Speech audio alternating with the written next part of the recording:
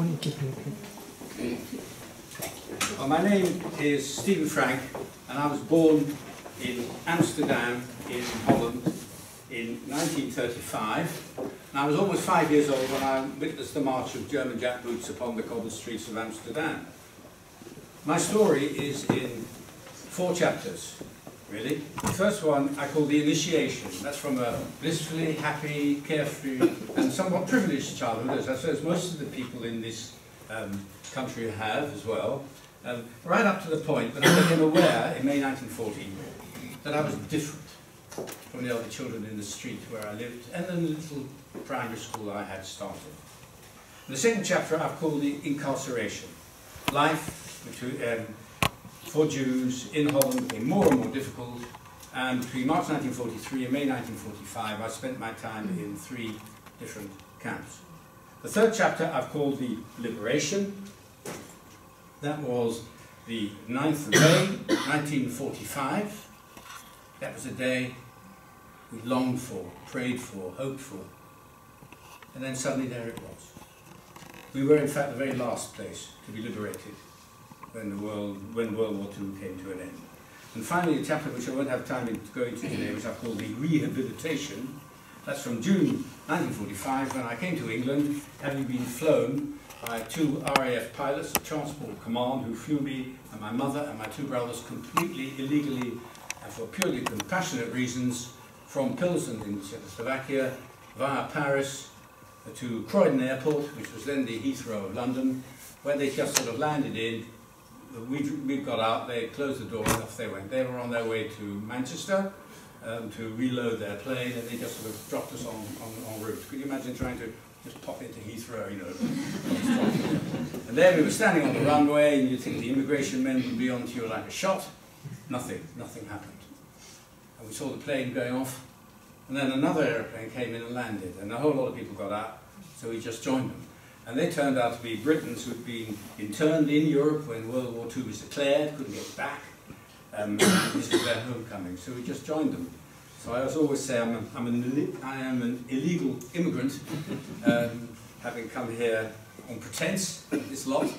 Um, but now we're all happy families, I hope, in the EU, um, I hope they won't send me back, even if where they're going to send me to anyway. But there we are. Just briefly something about my family, first of all. Uh, my father was born in the city of Zwolle, which is to the east of Amsterdam, where his father was an eminent surgeon, the director of the municipal hospital there, and one of the great pioneers of the appendix operation, which at the beginning of the 20th century was, was uh, you know, quite a dangerous thing to have. Um, he um, his mother, my father's mother, was the very first woman to serve on the town council of that city. It's the beginning of women taking part in sort of local government. And they had four children, of which my father was the youngest and, and the only son. And he was bright, intelligent, and sporty. And when he left his, primary, his secondary school, he went to the University of Leiden, where he read law, graduated with a first-class honours degree, went on to do a doctorate, and during his time at that university, he co-authored a book about the history of the Students' Union of that university. And that university goes back to the 16th century, so this was a massive work. He also rowed for the university and was captain of the University Hockey Club. And in the 1928 Olympic Games, which were held in Amsterdam, he was one of the umpires for the tournament. And also actually wrote a book for the Dutch Hockey Association about the laws and tactics of hockey. When he'd finished his studies, he went into practice as a lawyer, and his offices were in one of those lovely old houses on the, those canals in the centre of Amsterdam. Sort of picture you all have of that beautiful city. My mother came from a completely different background.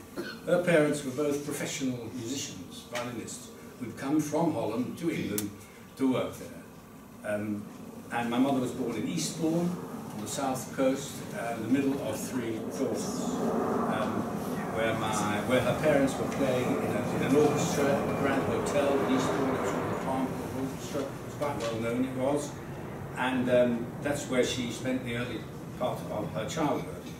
Um, when um, my um, grandparents' playing days were basically over, they moved to London, where my grandfather joined a publishing house, a music publishing house, and he published many um, well-known tunes um, in England, things like Roll Out the Barrel, I don't know if any of you ever remember it, Pack Up Your Troubles in Your Old Kit Bag. These are all sort of World War One songs sung by the Tommies, as they were called, and also in World War Two, songs like mm. Now is the Hour, When We Must Say Goodbye.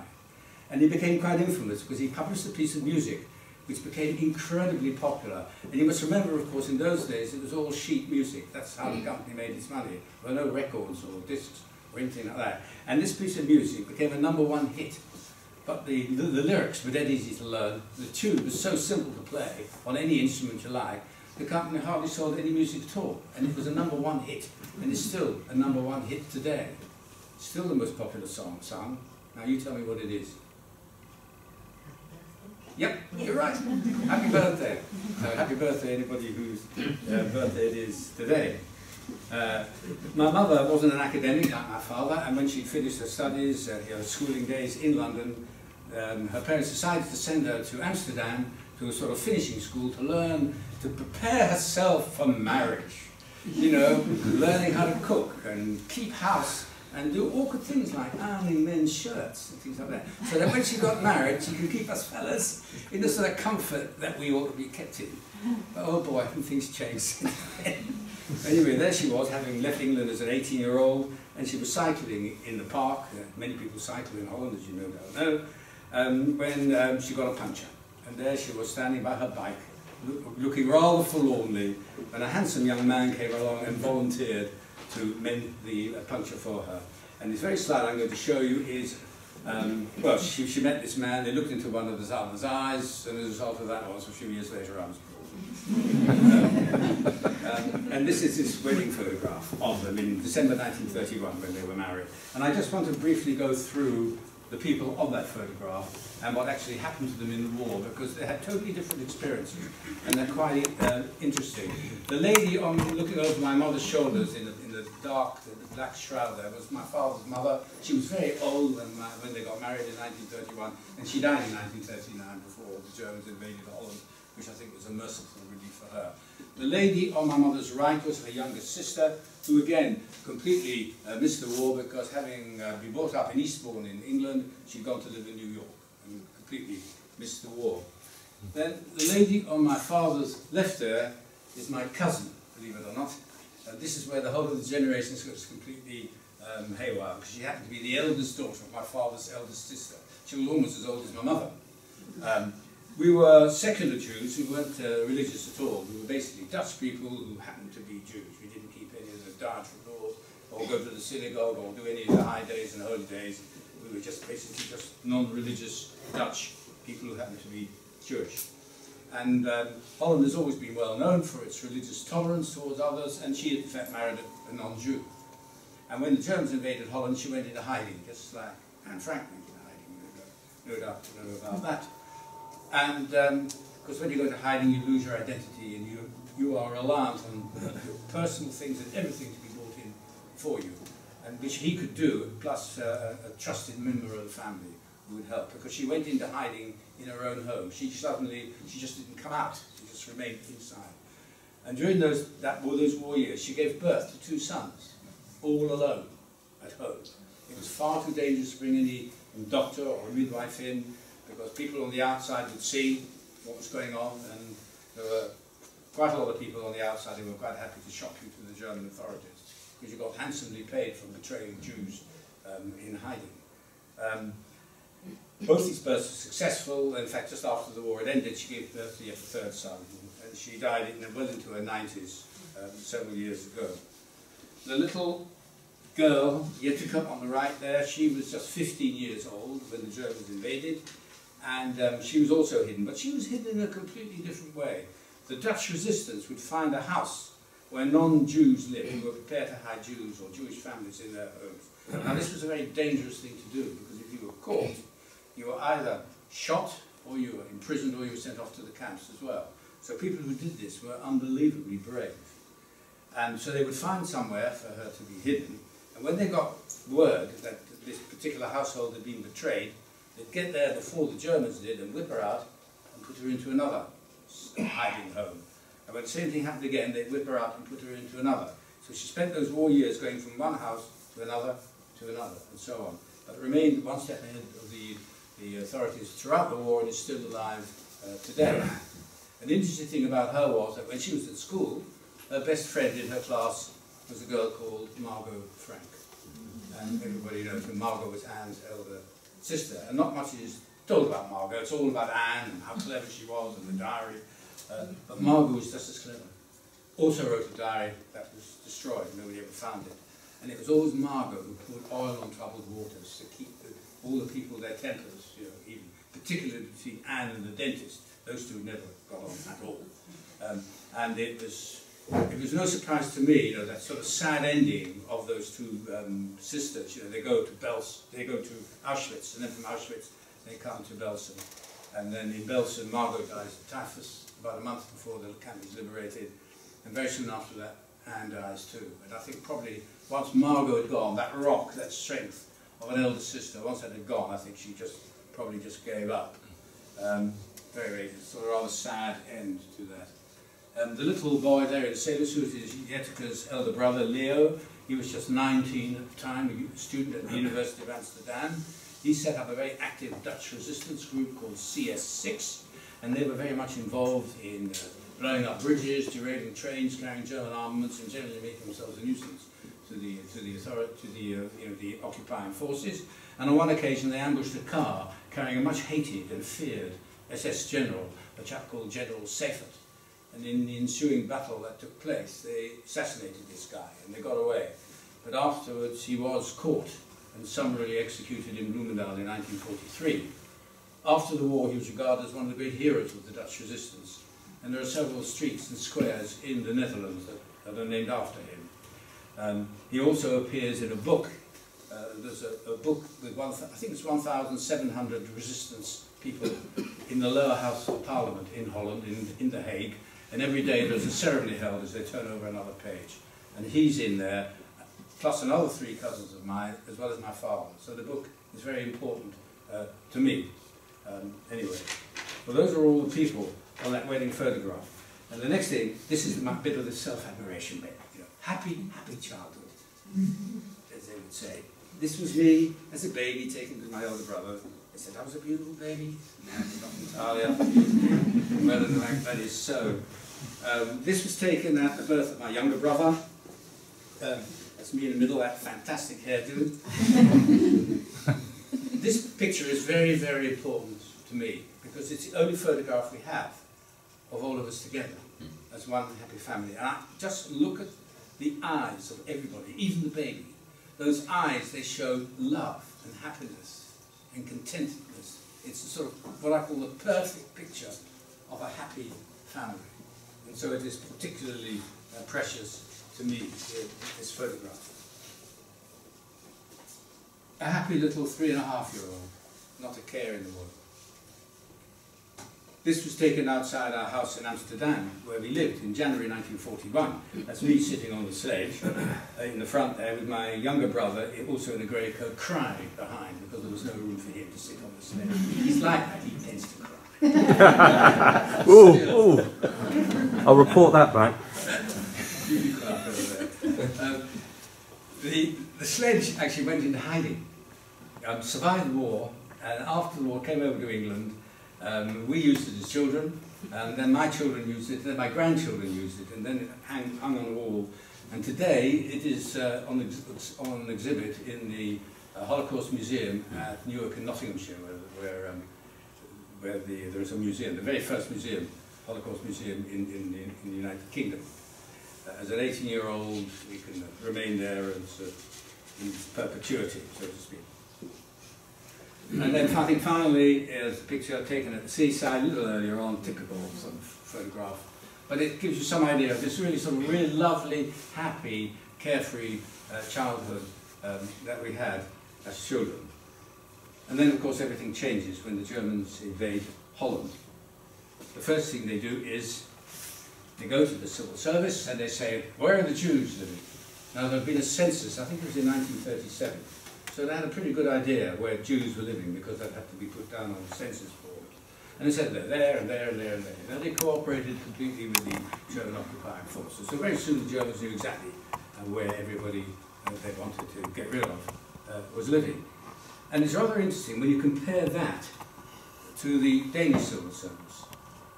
The Danish civil service did not cooperate with the Germans, bearing in mind that the Danes and the Dutch, very similar in outlook, you know, very similar the way that they thought about it, but they had a totally different aspect on their, on their, um, on their own people, irrespective of what their religions were.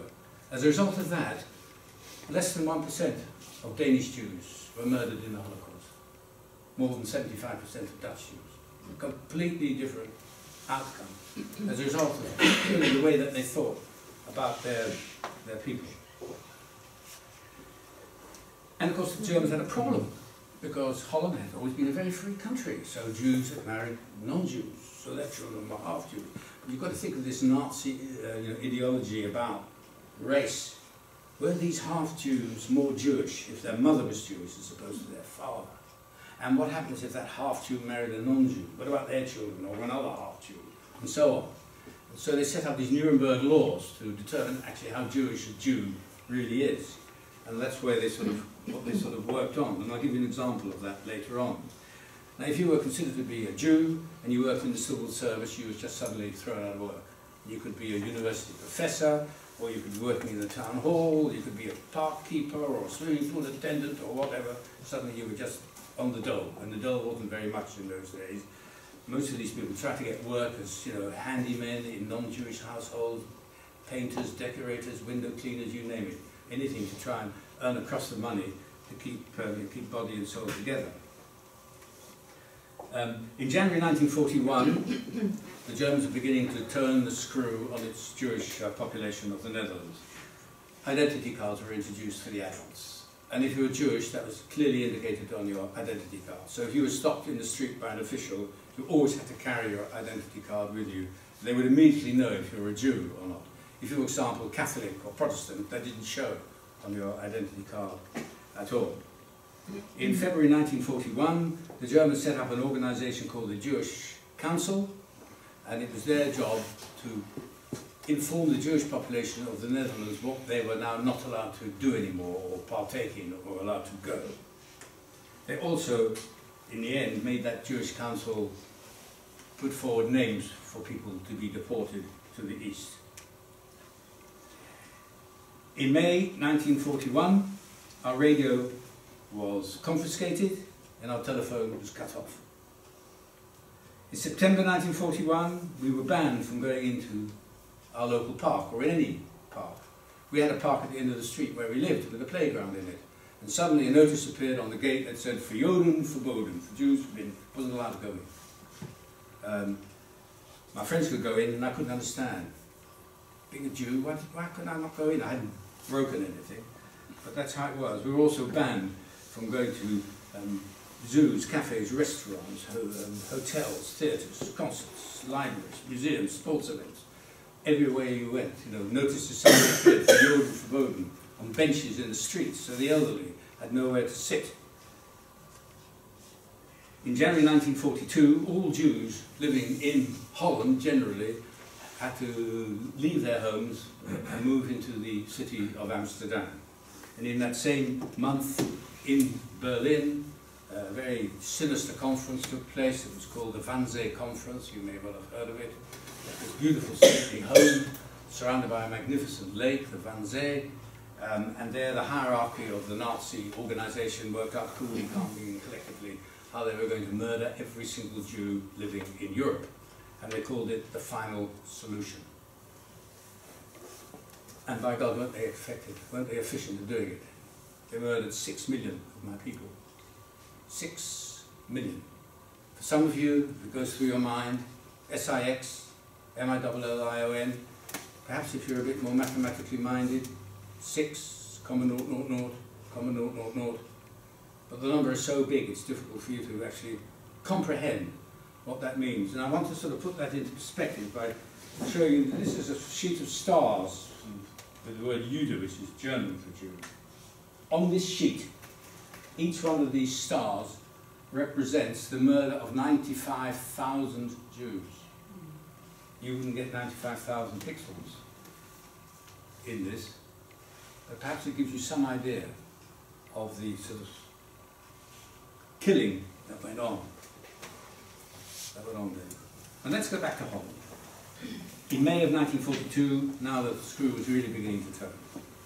In May 1942, bank accounts uh, had to be handed over, stocks and shares had to be hand, handed over to the, to the German authorities. They set up a, a phony bank called the Lippmann Rosenthal Bank, where all these things had to be deposited, and of course that was all being siphoned back to the Third Reich. In June, shop ownership became illegal. You had to hand it over, or any business you may have had, to a non-Jew. There was a curfew imposed. You weren't allowed to go out after 8 o'clock at night. It was illegal to own a car. Not that many people had cars, but it was illegal to own a bike. You were banned from using public transport. So the only way you were going to get about was on your own two feet. In July 1942, jewellery and antiques were confiscated. Shopping hours were restricted. You were only allowed to go shopping between the hours of 3 and 5. You were not allowed to go into non-Jewish homes. Although I must say, I can't remember that. I still think I went into the houses of my, of my uh, friends who were not Jewish. And in that same month, of course, the letter started to drop through the letterbox, inviting people to be resettled in the East. And that's what Margot Frank got, which then took the Frank family, that Frank family, should I say, into hiding um, in a little tiny little annex above the shop that Otto Frank owned. But I would like just to sort of um, illustrate some of these things for you to give you some idea. Um, the Nuremberg laws. Who's a Jew? Well, here's my registration document. If I can work out where this little thing is. It isn't on there. I'll go up and do it. Um, first of all, issued uh, by this Jewish Council of Amsterdam. Where are we here? Uh, where are we? Uh, here. Jewish Council of Amsterdam. Over on the other side. Oh, you touched the screen. I must have touched the screen. You didn't tell me that, did you? Right, I remember. On the right there, it tells me where I lived, my surname, my first and second name, when I was born, my, uh, where, I, where I was born, um, NED, my nationality, Netherlands. Um, religion, this is quite an interesting one, this one, don't touch. This one, um, Geen, which is Dutch for none, because we were secular Jews. And because I had four grandparents who had been classified as Jewish, I too was one of these subhuman species, as the Nazis would like to, to call us. Um, identity cards, I said, were issued to the um, adults. As I said, it was clearly indicated if you were a Jewish on there. And this is the identity card of my mother, uh, again by this Jewish Council of Amsterdam. And in fact, um, this is on display um, in the uh, Imperial War Museum in London, if ever you're there in the Holocaust Museum. Yeah.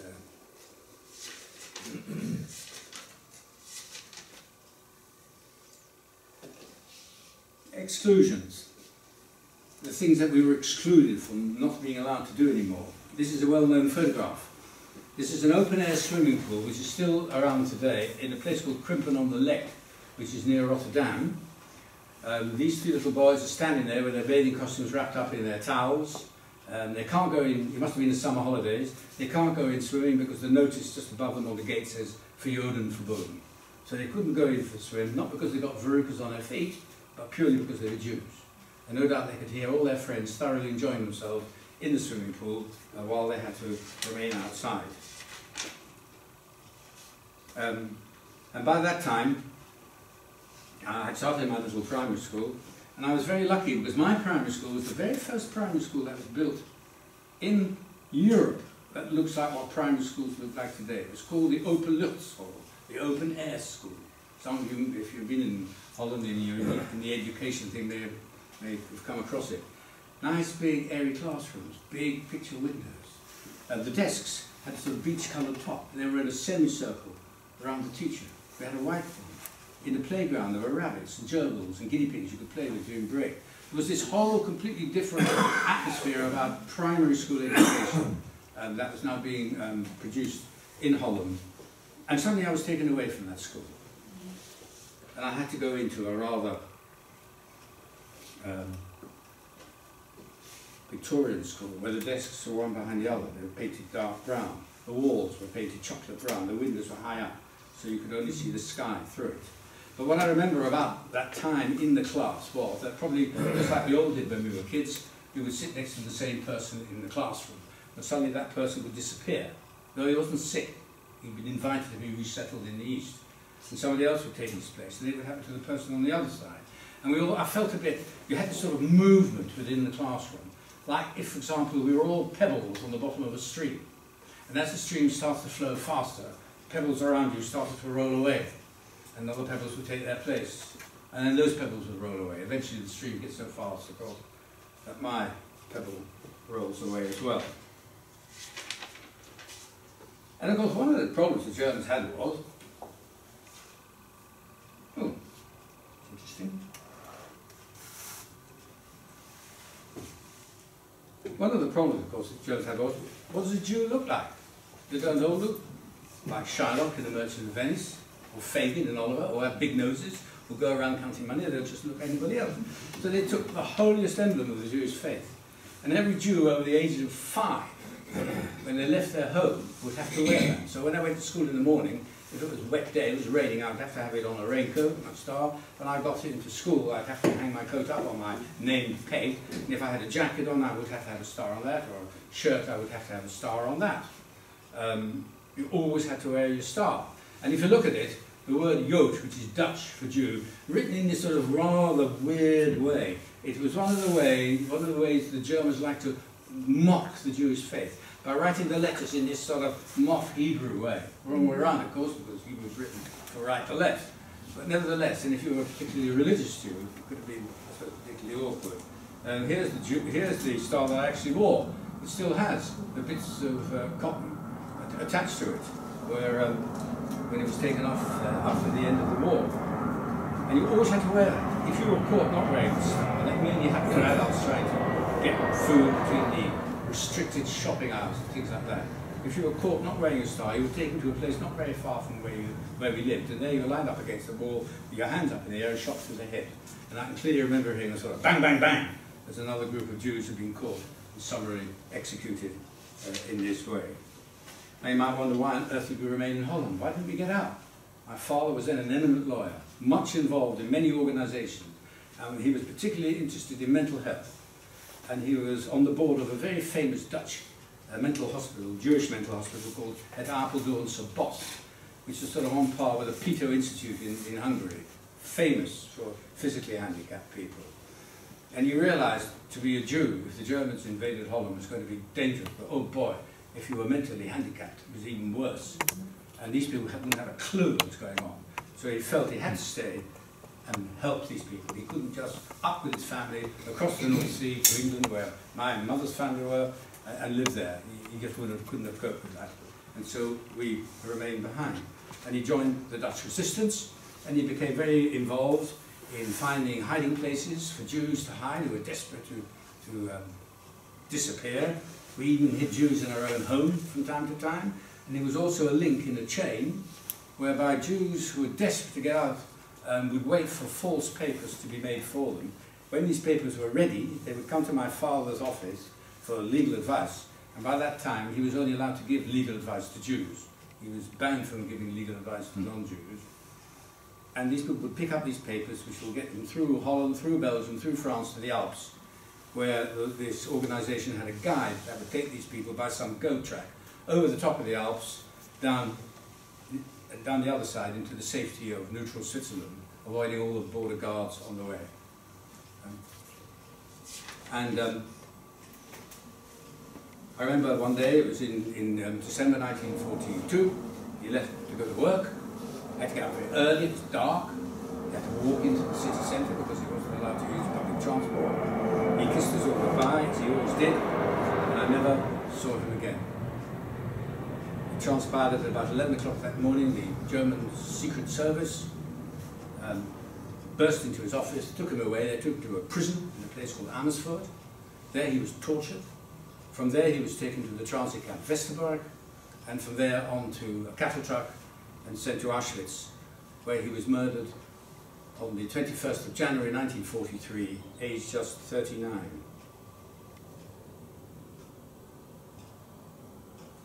Holocaust Memorial Day is particularly important to me because it's held on the 27th of January, so close to the death of a man who had done so many really good things in his life. I mean, just to give you one example, he was, he was responsible for setting up legal aid in Holland. A group of lawyers were helping the poor people of Amsterdam get legal redress through the courts, for which they hadn't a cat and hell's chance for, for pay for, they would never be able to get the legal redress. The lawyer said, we will do it for nothing, or for very little, uh, depending on how much money they could afford to pay. But he insisted that you know, the, the, their rights should be preserved and, and be able to go to court. Once my father, when my mother heard that my father was uh, imprisoned, she then really came to, into her own herself. First of all, she found out where he was. She changed places with one of the cleaners. I went into this prison dressed as a man, um, scrubbing the floors, and uh, certainly on one occasion met my father there, and they briefly exchanged notes. He told her that he hadn't, he'd been tortured, he hadn't given anything away, and that only that evidence only came forth about six months ago in a letter that my mother wrote to her sister, where she said that she'd met him. Um, my mother, um, we opened part of our house as a school for Jewish children who are now banned from using the state system, so they had somewhere where they could meet and be taught. She cut men's hair, Jewish men's hair, because as a Jew, you are not allowed to go to a non-Jewish barber to get your hair cut. And that's the sort of thing she did to keep body and soul together. Whilst my father was in prison, something um, very important happened to me, which much later on in our life became much more important. Three of my father's friends, who were not Jewish, Ernst Heldering, Jan Wiertsma and Arnold d'Ailly, the last one actually became the Burgomaster of Amsterdam, not long after the war. These three men pleaded with the German authorities for clemency for my father. Now this was a very dangerous thing to do because you're dealing with an organisation that had a fanatical hatred of Jews. And here was a Jew who was in the Dutch resistance helping Jews to hide as well. So, but these men, they were all married and they all had children, were prepared to stick their head over a parapet and plead for a friend. And ever since I've known that, friendship is incredibly important in my life with the friends uh, that, that I have. And although the Germans wouldn't relent as far as my father was concerned, they allowed his wife and three children to be put on one of the several priority lists that the Germans set up in order to stop mass panic among the Jewish population of Holland. Then we were put on the Barneveld list, and in due course um, we were on. Um, we got notification of that, and that we were. The beauty about being on that was that we would not be sent to a work camp abroad. We would be allowed to remain in Holland. So they thought, well, Hitler can't go on for all that long. Stay there. We won't go. We won't leave Holland. When the war's over, we'll just hopefully go back to our houses, and everything will, will be all right. Um, but they didn't like us being in our um, own home, and in the end, they also got a letter to say that we were to be rehoused. That last let word on that letter, Verhuizen, means rehoused. And my mother uh, was allowed to take a few things. The whole thing was just a complete farce, really. She was allowed to take uh, certain things with her, and we went, um, reported to the station, and from there we were taken southeastwards to this place, Barneveld. Barneveld was a strange place. It was a castle that the Germans had requisitioned. And the people on this Barneveld list I can only describe as the sort of top echelons of Dutch Jewish society. Professors, composers, actors, you know, all sorts of the top brass people. There was no barbed wire, there were no guards here. We'd been promised we, would we wouldn't be sent abroad. We'd be allowed to remain there, so stay there, keep your head down, and when the war ends, hopefully we'll be able to go back to our own homes. It was a strange place because I remember being taught there my multiplication tables, and of course we learned them by rote in those days. And we were being taught our multiplication tables by some professor of mathematics at one of the universities of Amsterdam. And he couldn't understand why the hell we seven-year-olds couldn't understand what he was talking. And that's why we have primary school teachers, of course, to teach these sort of things to small children. One of the more positive things out of this strange place where we were was I learned a love of gardening because we were given a little plot which we had to dig and weed and then uh, rake into a nice a fine tilth. And then I was given some seeds. I was given some radish seeds, luckily, and I planted a big SF in my plot. Ten days later, a green SF appeared. And I thought, I planted those little purple balls. And suddenly, I've got these little plants coming up. Oh, isn't nature a wonderful thing? I was really hooked on this. My older brother, on the other hand, had a plot next to mine. He had no interest in gardening at all. He insisted on growing bananas on his. Needless to say, nothing ever uh, came there. We were in this camp for about six, six months with this really odd lot of people when suddenly the Germans came into the camp, gave everybody just 20 minutes to get ready, um, and we were put on the train and sent northeastwards to Westerbork, and that put the fear of God into everybody. Because Westerbork, in a, in a rather isolated northeastern part of uh, Holland, um, was the main place where people went to when they were hauled out of their houses or whatever. They went there before they were sent uh, to the east. Um, here's a plan of the camp. The blue that you see there is a moat about six feet deep uh, around three sides of the camp. Barbed wire fences six foot high either side of the moat. The green, the uh, green squares there are German watchtowers on stilts who, um, with guards in there looking down upon you with searchlights and machine guns. The black and white stripes you see there in the middle of the camp is the main railway line going in uh, and coming out. We were housed in barrack numbers 85 at the bottom first and later on to number 71, uh, which I'll tell you uh, all about. Here's an artistic impression of what Westerbork looked like. Um, somebody described it after the war as the Auschwitz made of wood. The highlighted one is barrack number 85, where the 660 Barneveld group people were, men on the right, women and children uh, on the left. Uh, here's a photograph of Westerbork. Uh, no, this is not taken in winter. That is not snow. Um, this place was built in a very sandy area. There were no pavements or anything like that there. So when it was dry and the wind blew, the, the, the, the, the um, sand would blow into everything uh, that you had there. Um, in the foreground there you've got the barrack. In front of those windows would be a trestle table holding about 14 people. And you got to know those people very well. That was a little social group. In between the windows would be bunk beds two high. And as the pitch of that roof goes up, you had bunk beds three high in the centre. Um, just to the left of the chimney stack you see there would be a toilet block. Um, and that again was a pit dug in the sand, about again about six feet deep, over which they put planks of wood with holes in. Um, probably about the biggest bog I've ever been in, some 70 seats, two rows of 35, back to back, men and women, all in together, no, no segregation of the sexes. You can well imagine it was unbelievably embarrassing for the women. You spent a lot of time in there because the the diseases were rampant within this camp. There were lice everywhere. Scarlet fever, polio, yellow jaundice was, was prevalent in the camp, and a lot of dysentery too, you know, when you have to go to the, when you got the runs.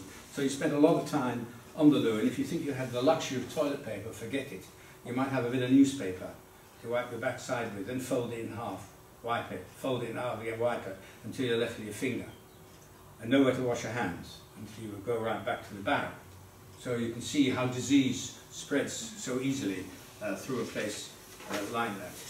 Uh, this next slide shows you the interior of, a, of the barrack, um, but ours was so overcrowded that even that central gangway um, had um, the bunk beds in it. I slept on the top. I did at least have my own bed space. I didn't have to share it with anybody. But to get there, you had to clamber up sides. There were no ladders. And anything horizontal invariably had things hanging from it. And if in the middle of the night, you know, you wanted to go to the toilet, and it was dark because there's no lights there, you had to sort of feel your way along till you got to the end and then drop down and go out and try and find your way back again. So you could be fast asleep and suddenly you could feel somebody going over you, you know, so you'd wake up. So there was a lot of broken sleep and people snored and they shouted in their sleep. You'd be amazed how noisy 660 people are when they're all trying to sleep. And um, so there was a lot of broken sleep, which of course meant bad tempers uh, in the morning. Here's a general impression of what Westerbork looked like. Pretty miserable sort of place. The food was adequate, It wasn't particularly, it was monotonous. Um, we had no school there, but I did learn how to become streetwise. You know, I was then eight years old. Think of what you were like when you were eight in your primary school. I remember this on this particular occasion, I was miles away, I was walking, my mind was miles away, and I was just wandering along, and suddenly I came across the perimeter wire of where the, where the, the moat was. The moat and another perimeter wire, and a guard looking down upon me from a, from a watchtower. And I looked behind, and I'd realised I'd left the barracks behind. I'd wandered, this little boy had wandered over no man's land. And then I looked along the wire, and about 20 metres away were two German guards with an Alsatian dog. I froze, I looked at them, they looked at me, then they unleashed the dog, and this snarling Alsatian came bounding towards me. And I put my hands in front of my face, and I bit all over my arm, my chest, my thighs, and my legs. And I still hear these German guards laughing at this bit of Jew baiting, this eight-year-old being mauled by this vicious Alsatian before they called it off. And I ran back to the barrack, you know, bleeding from all these bite marks and things. And after that, whenever I got to a corner, I would look before I proceeded, and if I saw guards, I'd scarf. I'd keep well away from guards, bad news, nasty people. So we're beginning to learn how to look after yourself. As children, we observed the sort of things that went on within the camp, and we made up an alphabet called the Westerbork alphabet, um, which I've written here. But I won't go through it now because we're going to be running out of time, but it gives you some idea of uh, the way we saw things within the camp. Just to say Z at the very end, Z is the sun, which will shine once again, showing that we as children were always very positive about what um, it should be like. Transports would leave Westerbork every Tuesday. So you could feel the tension mounting up on a Monday, uh, on, on, at the weekend. Monday a list to go up, pandemonium for those who were on it. Tuesday the tra transport would go. Anything between 900 and 2,000 people, all beautifully organised by Adolf Eichmann. The transports came in, mostly cattle trucks, labels on them. Most of them were going to a place called Auschwitz. Another favourite destination was Sobibor. If you were lucky, you went to a place called Belsenbergen, and the occasional transport that went to Theresienstadt. people were desperate to have jobs within the camp organisation so that they, you know, they, hopefully they would not be um, deported. So the, the typed one there showing my mother appealing to two pairs, for two pairs of children's shoes, because for my elder brother Nick and myself, because they couldn't be, our shoes couldn't be repaired anymore. It's a bit of a joke actually, we'd worn them out. And the lower one is a, a, it's a medical examination of an examination of my feces, and they found out I had an infestation of worms. So although food, monotonous as it was, was adequate, we didn't starve there, I was actually being eaten away, my gut was being eaten away by this worm infestation. And when I came to England in 1945, it took 18 months of treatment at Great Ormond Street Hospital before they actually eradicated this worm infestation out of my gut. I was absolutely riddled with it.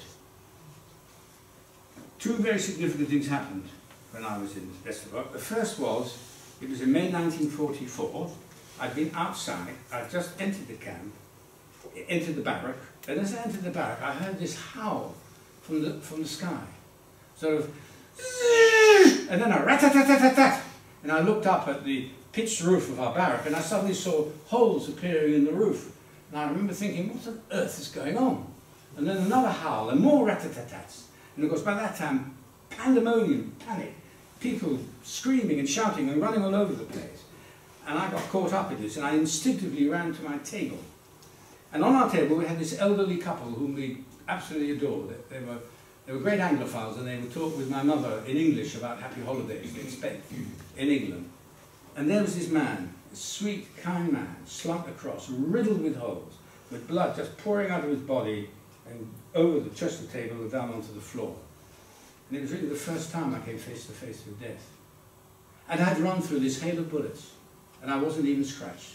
It was almost as if there was this invisible shield all around me, protecting me. It was really weird.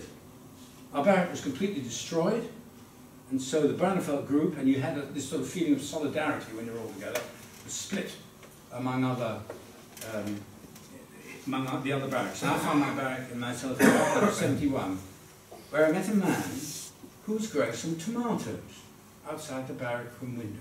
He'd managed to get hold of some rotten tomatoes and picked out the seeds in the centre, and he'd managed to germinate them. And he had a whole row of these tomatoes. And I was, I was fascinated with, after my experience in the previous camp with my radishes, and I became his little helper. I used to help him water these tomatoes and also pick out the side shoots so they would grow up nice and straight. And one day this man said to me, Stephen, I'm afraid I've been sent to Poland. I won't be able to look after the tomatoes anymore, but will you look after them for me? I said, yes, yes. I felt so proud he should ask me to look after them, which I did, of course, until it was my turn to go. But you know, the strange thing is, this man, whose name I don't know at all, but whose face is so clear in my mind, I grow tomatoes in my greenhouse at home. And whenever I'm watering those tomatoes, and picking out the side shoots. I see him looking on. I'm still watering his tomato plants for him, more than 70 years on. Uh, and it's, it's a sort of very weird feeling. He's there with me, seeing what I am doing. Um, and then, of course, it happened. The list went up, and our name was on it. My mother got us ready for this journey. Three pairs of socks, three pairs of pants, two pairs of trousers, two vests, two shirts, two pullovers, hat, coat, gloves. It was September 1944. The Allies were in Arnhem. We were in the northern part of Holland at the time. And we were allowed to have a little suitcase or a rucksack. Um, and we were taken on the ramp, and there were these uh, cattle trucks standing there. And I remember seeing this sort of black rectangular hole, and we were pushed into it, more and more and more of us in there until it was absolutely crammed full. And suddenly I heard a sort of zoom noise as it was shut. And we was plunged into darkness, and people started to cry and scream. And then you became, you know, when you go from light into darkness, usually everything is black, but then it's never completely dark. There's always stray light somewhere. And luckily in our cattle truck, there were four tiny little slit windows in the four corners of the cattle truck we were in. And we then Somebody in the cattle truck organised all the rucksacks and suitcases to be piled into two corners. It meant at least some people could sit. And I embarked upon a journey that I shall never, ever forget. 39 hours in a cattle truck. No sleep, no food, no water. And what I remember really more than anything else about that journey was the stench that built up. You can imagine uh, a mixture of human sweat, of vomit, of urine, of feces, all mixed in. The oxygen levels were de depleting in the cattle truck. We would clamber up the rucksacks to get to the air, you know, from these little slit windows, and the adults, of course, would pull us back. And then suddenly this train eventually stopped. It was dark, and I suddenly heard this great sort of noise as the cattle truck doors slid open. And what I remember particularly was this great waft of ice cold air that came into the truck. We could breathe again. Um, we'd arrived in Theresienstadt, or Terezin, as it was called. Theresienstadt, built in 1780 by Emperor Joseph II of the Austro-Hungarian Empire, uh, in memory of his mother, Maria Theresa. We were housed in, the, in that great big building you see in the left foreground there, the Hamburger Barracks. And we were basically dumped in there um, on our arrival. And again, now my mother was beginning to again show some of her ingenuity. She, uh, the typhus epidemic had started within the, within the camp.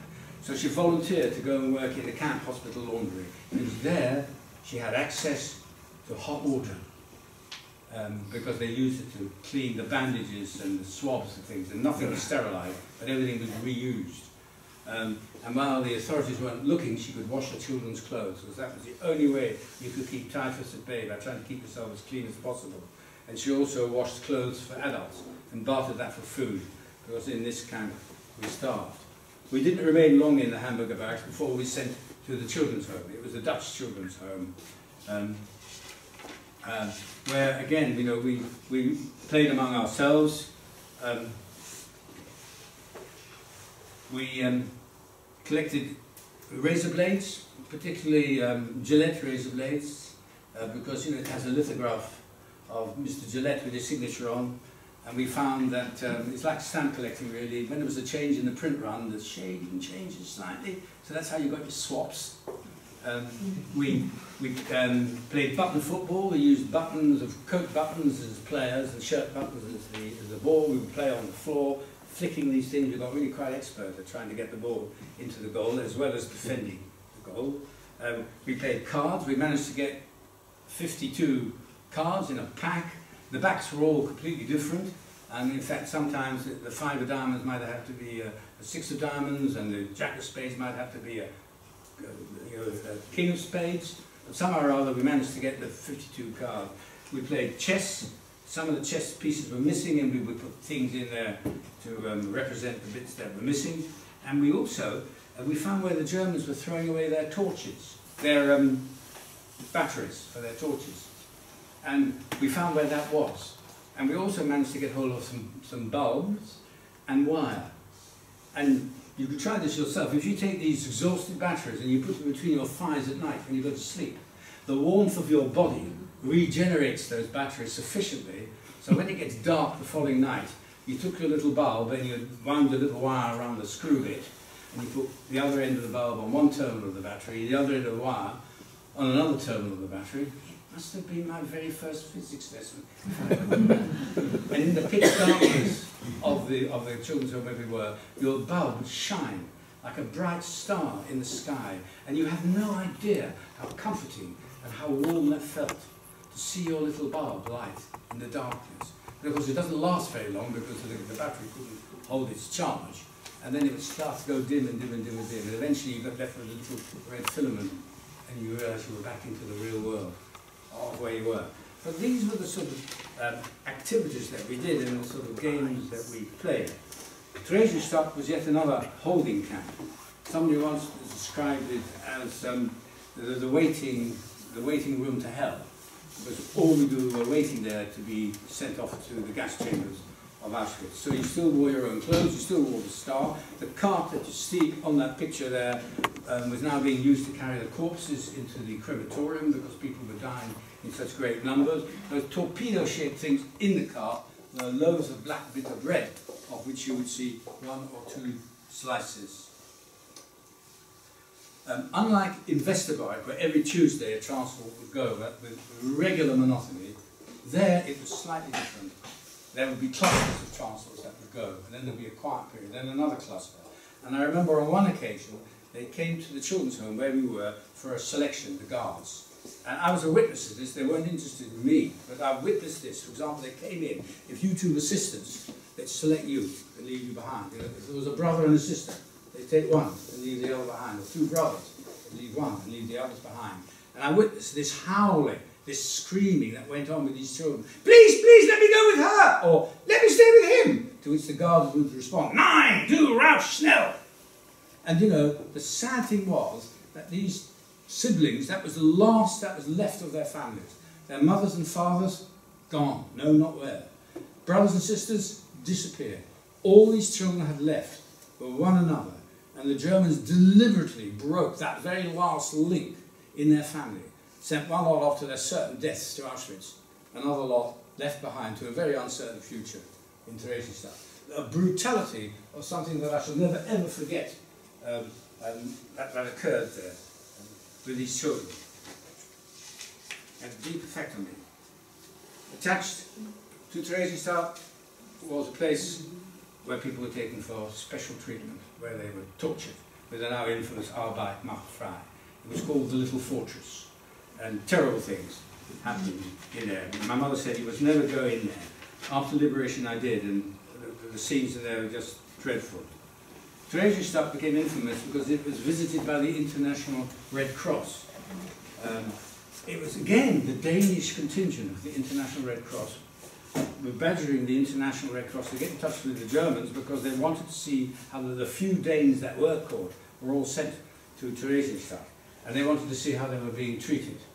And um, so the, the Germans always refused. And on one occasion they decided, yeah, well let them come, we'll make a great big propaganda film, which they did. You know, the Führer gives the Jews a town. This was a town for the Jews, administered by the Jews, you know, and, and all the old emaciated, weak, thin-looking Jews that were there were carted off to the killing fields of the east.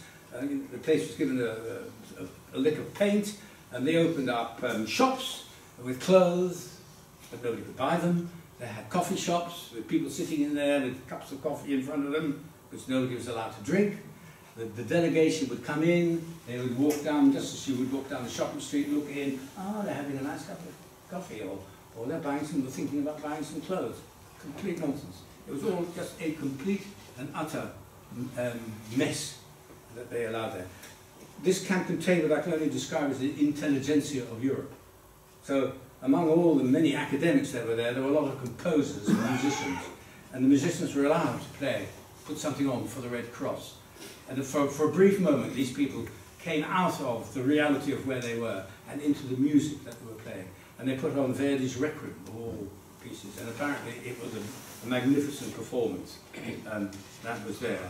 Um, and this is just one of those propaganda photographs of the children working in the in the kitchen garden for vegetables, which of course were for the SS guards. nothing to do for the people who were, were eating them there. And of course the guards being removed, it's all purely propaganda.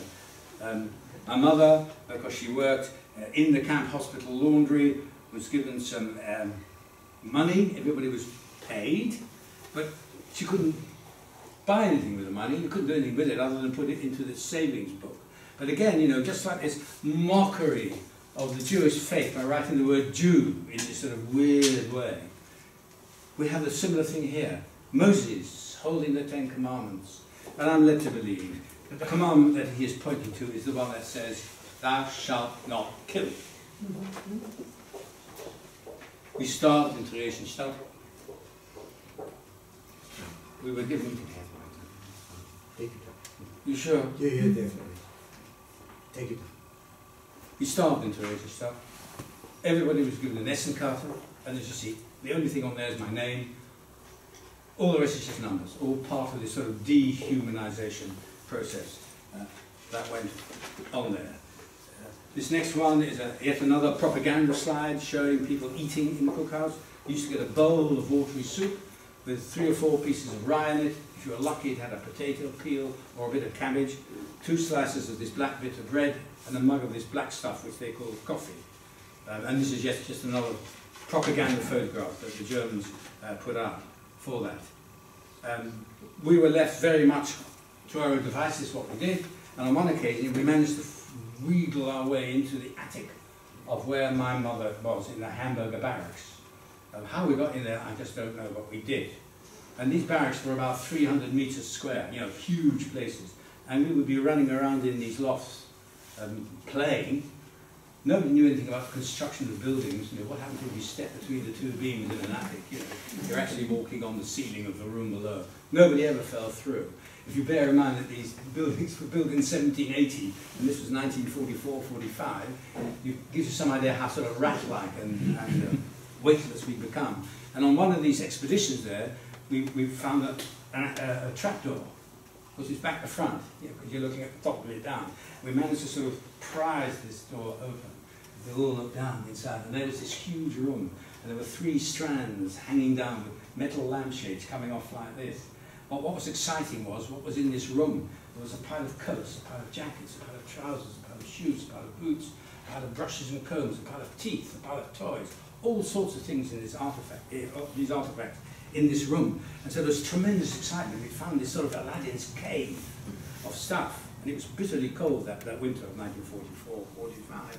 And I remember rushing back. I managed to squeeze through and tell my mum what I'd found. And she collected, who was not working luckily at that moment, and she collected together a posse of women who were around and they followed us back into the attic. And they lowered themselves in there and they helped themselves to gloves and coats and, and all sorts of things such a cold. And for having found it, I was allowed to choose something out of the toy heap. And I found a chess set. I wanted this chess set, and I've just brought along King, well, I pawned actually just to keep the king company. This chess set. And of course, it's only in retrospect that I realised that all this stuff in this room had been taken from previous inmates who'd been stripped virtually naked, put on cattle trucks and sent to the killing fields of the east. And all this stuff was to be collected and to be recycled into the German war effort. But the Germans were losing the war, so this particular process had stopped and this stuff had just been left there. And whenever I play with this chess set, I often think, you know, to whom did it belong? Sadly, the king cannot speak. But I have this sort of thing in my mind of a, of a couple living in a flat in Vienna, playing with this chess set, with perhaps a gramophone playing Mozart in the background, soothing music. Or perhaps a couple of farm workers in a little cottage in Slovakia, playing with this set after a hard day's work in the fields. We'll never know. But the, the, the piece, the chess pieces are so very, very important for what they represent uh, to me. As I said, the winter was very, very bad, 1944-45, and now the Russians were approaching Auschwitz. And so now people were coming from Auschwitz back to Theresienstadt. People in open cattle trucks. Well, sorry, not people, corpses. Most of them had frozen to death. There were just one or two still alive in each cattle truck, buried underneath the others. My mum would go through these cattle trucks looking for my father. Um, and then we heard about the gas chambers, something we knew nothing about until these people returned.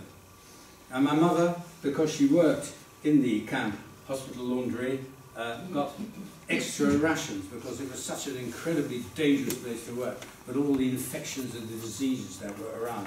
She got extra rations.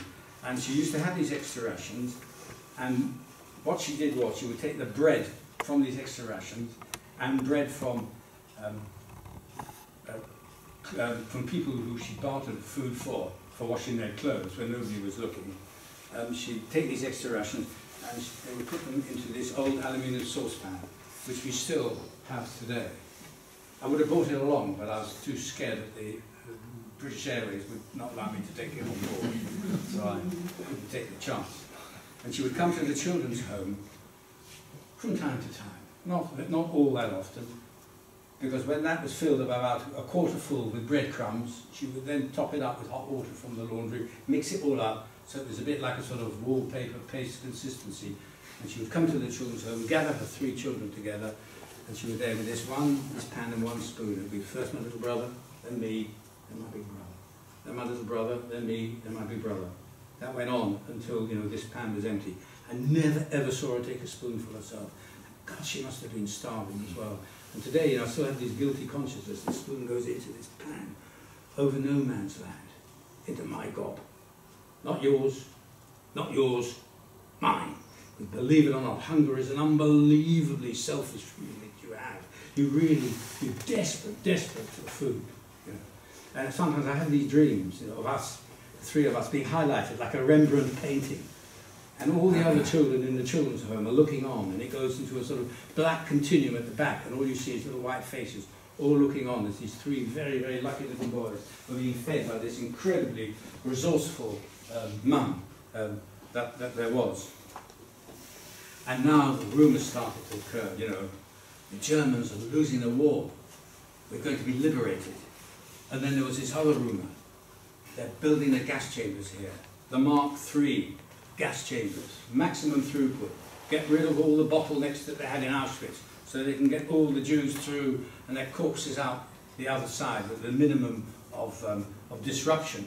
So one minute you're elated because you're going to be liberated, the next minute you were absolutely petrified, you were going to be gassed. It's like putting your hand under a boiling hot tap and then under an ice cold tap. You had this sort of really weird two-way things that were going on all the time. And you could hear guns um, in, in the distance. And I remember one night we were woken up, there was this tremendous noise, bombing. And the whole sky to the north of where we were was sort of crimson red. And somebody said, it's the Allies, they're bombing Leitmeritz. Now Leitmeritz was a, light industrial town to the north of where, where we were in Theresienstadt. But it wasn't Leitmeritz at all, as we found out later. What we were witnessing was the bombing of Dresden in Germany.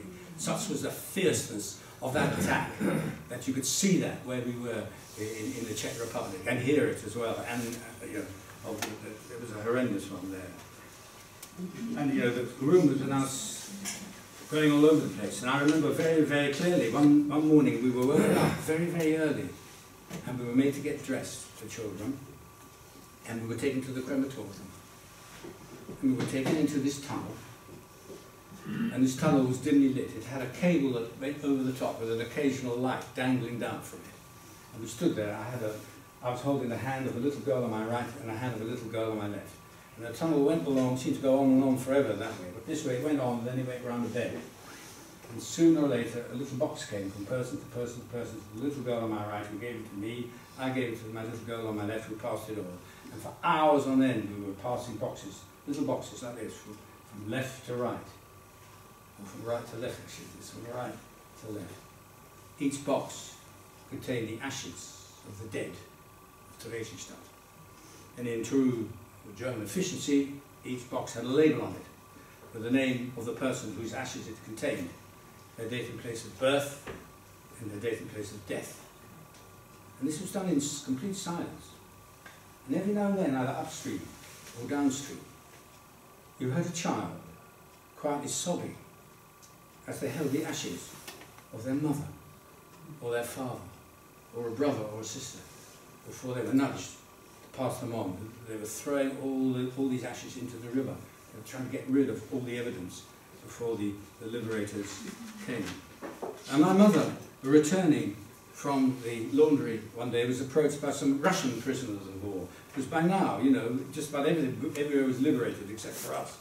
And these Russians were in there, and they knew my mother was a native English speaker. And they pleaded with her to go into the house. They had something very important to show her. So she went in, and they took her up into the loft of their house where they'd hidden, would you believe it or not, a radio. A radio. How on earth did they get hold of that? And they knew something important was going to be announced.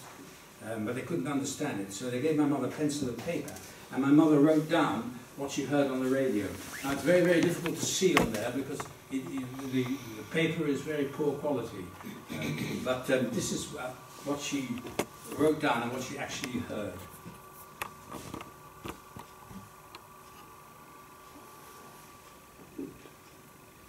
What she was supposed to have heard. Strange, isn't it? Well, this afternoon, what you heard was Winston Churchill broadcasting from the Cabinet War Rooms in London on the World Service that at midnight that night the war would be over. But here we were, at about six o'clock in the evening in Theresienstadt. What were these Germans going to do? Were they going to gas us, as many as they could, through these new gas chambers they built? Or were they going to shoot us, or perhaps a mixture of both? And there'd even been a rumour that the whole camp had been dynamited. Were they just going to blow us up completely? So people did go to bed feeling very, very scared about what the future may lay. And the following morning, uh, we woke up, the Germans had fled, and the Russian army entered the camp.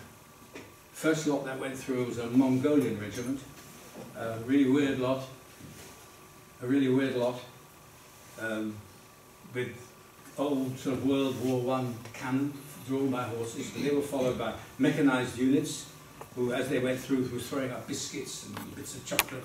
We all tried to grovel in the mud to get some, but nobody wanted to stay there. You know, the place was actually seething with mostly with typhus. Nobody wanted to get that, you know, get the hell out of this place. And then the Red Cross took the place over and slowly brought things under control there. Um, the first thing they would take, they would take a building, they would empty it of people, uh, they would seal all the windows, and then they would put these gas canisters in there to, to clean the place up. What gas did they use? Zyklon B. There was plenty of that about. Yeah? A very gas that Mersmacher. And slowly but surely, they brought you know, the infection under control before they allowed anybody to leave. Um, I would like to conclude by reading you uh, this poem, because this poem is an eyewitness account of life in Theresienstadt, um, written in English. You know, you get very few um, witness accounts, live witness accounts that are written in English. Invariably they're translations from, from other languages. This, this, this poem is written by a, a woman called Connie Rosenheimer. Connie, in fact, was born in Sydney, Australia, um, had married a Dutchman, found herself in Holland, and she, like my mother, they had very, many things in common, and they became very close friends. And she was sitting on the park bench observing the scene in stuff, and she dedicated this poem to my friend Charles. But we never knew who Charles was. When walking sadly through the street, I view the people who I meet. They are so grey, so feeble, old, and many trembling from the cold. No happy faces to be seen in Terezin, in Terezin. In the bare park I take a seat and speak to several whom I greet. Sad are the tales of blank despair for dear ones gone, they know not where. No tales of joy, of life serene, in Terezin, in Terezin. And stumbling, halting, there they go, the heroes of the past, so slow. It fills my heart with pain severe, for many blind and maimed are here. There is alas no happy scene in Terezin, in Terezin. With beating heart and troubled eye, again I view the passers-by. Through mud and snow, through storm and rain they pass, a melancholy train, hand in hand, with hunger keen, in Terezin, in Terezin. O God, in mercy grant the peace, that this sad life may shortly cease. Grant that we once again return to those for whom we fondly yearn.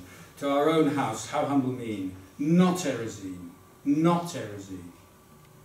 Perchance, when back in London town, a tear will slowly trickle down, and I will ponder with a sigh on the dear friend who said goodbye, who was my friend, had always been in Terezin, in Terezin. 15,000 children went through Terezin.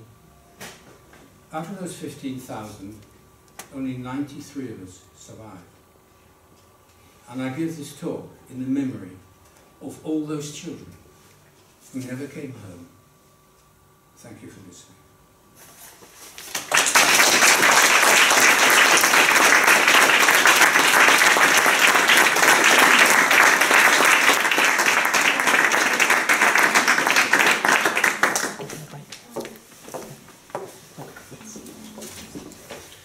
Hang on that a bit, because I've been giving these talks now for many, for nearly 20 years, well, 20 years.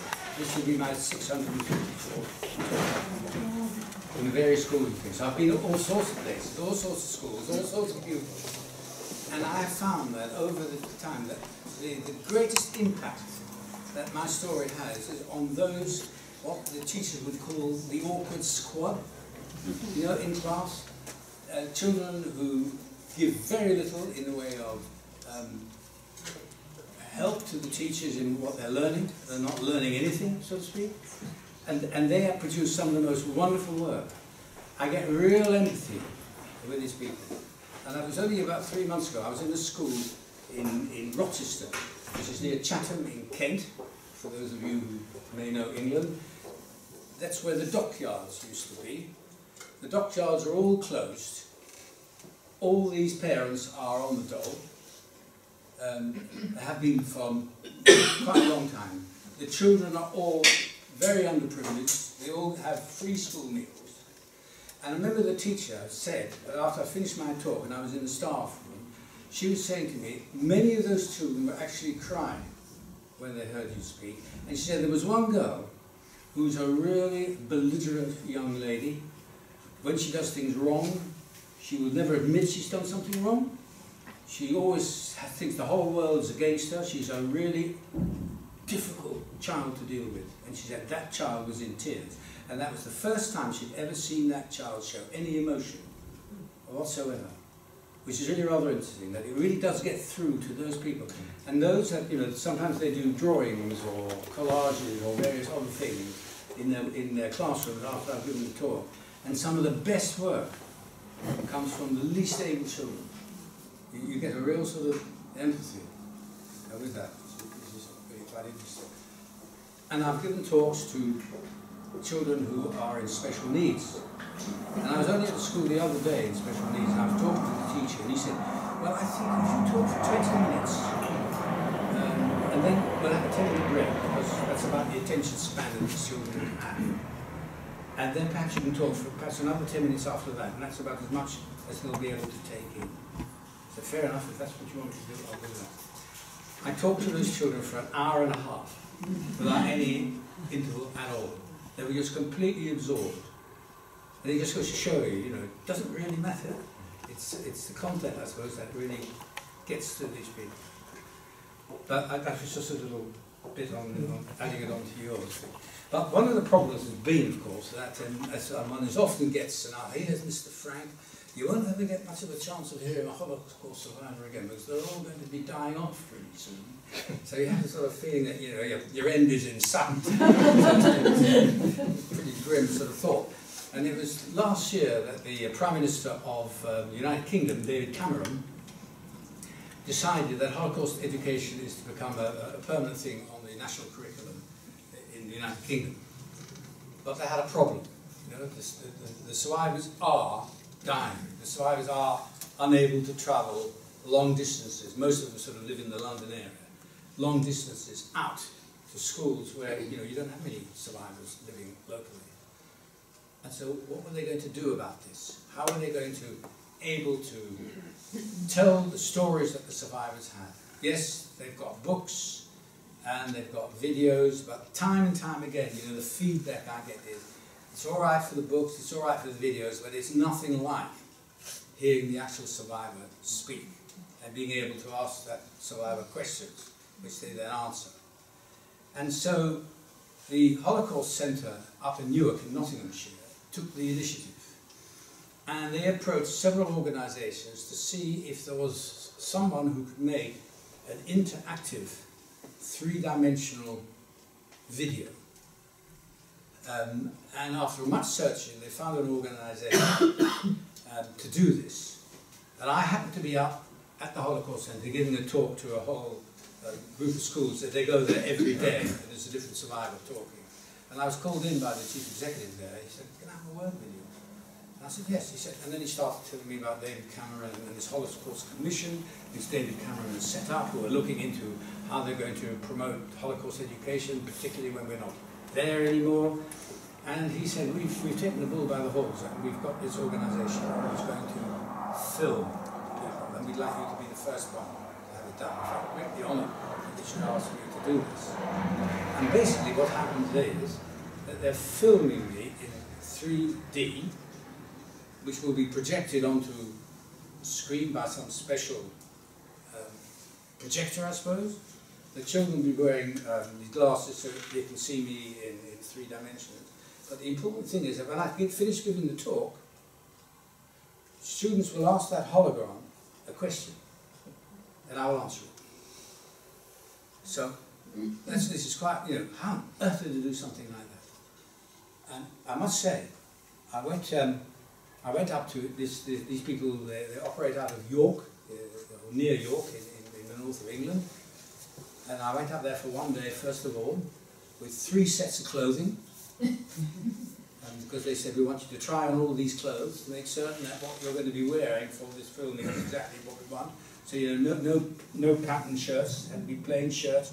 Uh, you, you couldn't have shiny black shoes or shiny brown shoes. Um, there were all sorts of uh, you know conditions that there were, and eventually my, the clothing that I was going to use was selected. And then in January I went up with those with those clothes um, to do this filming. And the first part was giving my talk.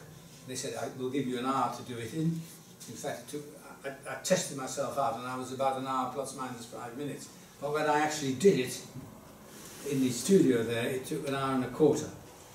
And they said, well, that's a bit long, we might have to go back and do that all over again. I thought, oh God. anyway, um, they then started asking the questions. And you think, oh, where did all these questions come from? And what this organisation had done, they had uh, analysed questions that students had asked all the Holocaust survivors coming to this centre over quite a long period of time. So somebody had been collating all these questions. And then they pulled out of all these thousands and thousands of questions, those questions that would appertain to my particular story. And those are the questions they came to ask me. And they were done not in chronological order at all. They were done completely at random to try and keep the thing, uh, you know, keep it um, going. And you know, and it was a, quite a laborious thing because they would say it would start off with SF001 QT ABC Steven. Blah, blah, blah, blah, blah, blah, blah, blah, blah.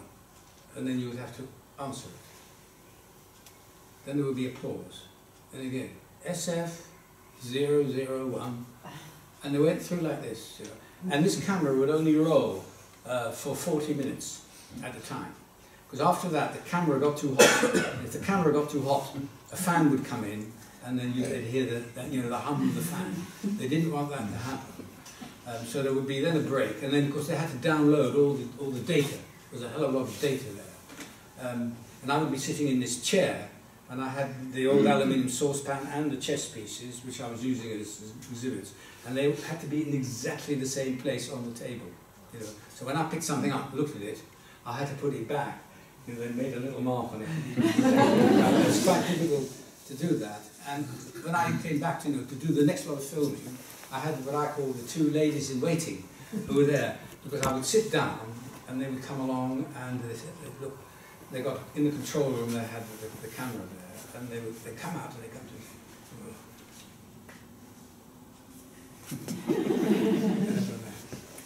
Yeah, that's right. Now, what about this? so every fold, you know, everything had to be just exactly in the right place, as it was when we finished the, filming. So that when you, so when it goes on, you don't get the sort of, you know, sometimes you get the sort of thing like that um, on, on, on the when you see it on the television. It had to be absolutely smooth, straight, straight through. And so there was all that, you know, before we could even start. And you know, I was there for a week filming from nine till five, and I answered 920 questions. And when I finished that, they said, "Oh, by the way, we've just got one more thing we need to do." I said, and, and that is a sort of preamble, you know. Thank you very much for coming in to speaking uh, in our school today. That's all right. I, um, thank you for inviting me to come. And all these sort of things that they may ask, so that the educator, when all these children were sitting there, they would talk to the hol- hologram and say, thank you very much for coming to us today. And they'd say, that's all right, it's very nice to come and visit you. so all those, we have to go through all these sort of preambles, and again, post-ambles, you know, at the end of the thing, that had to be done. And then I had to go do the talk all over again anyway, because I had to get into an hour, um, which I then did, but they said, no, no, no, it wasn't anywhere near as good when I did it in the hour. I was constantly aware of time, time, time, time, and it took away, you know, the, the, the speciality of the talk. And um, yes, it was, and there were, the, the people who did it were absolutely marvellous, so professional, incredibly professional. And you know, the really weird thing about it was that I did this in January, and I did it in the very week that my father was murdered in Auschwitz in 1943. And I took up with me a candle from Auschwitz to light on the 21st of January. And I thought, are they going to let me do this? You know, in a studio, you know, with all these electronic equipment and, you know, were the fumes of the, of the flame going to affect you? You know, the sort of thing. They said, you light the candle. We'll, we'll, we'll, deal with it if there's any problems. They couldn't have been nicer. So that candle was, was burning the whole day when I was doing this filming. And I thought that was really part of the sort of, the whole complete package that they allowed me to do that. They say the thing will come out in July. Um, and uh, we'll wait and see. The Americans, by the way, have been doing this for about two or three years. Somebody called Pinchas, Pinchas somebody or other has been doing it. But he is totally different. He's in a huge bubble. They've got 360 arc lamps on it. Can you imagine how hot it must get in there? And 75 cameras on it. And so it's been a long process, because presumably he can't be in there for very long. Um, and it looks as, as if we've overtaken the Americans. And if that's the case, not only will I be the first in the United Kingdom, but I shall be the first in the world when this gets shown. and what, I, what tickles my fancy is I can be in two places at once. and that's what I'm living forever. so it, it's a very uh, interesting and a very exciting project. And we just wait and see how well that, that is going to work.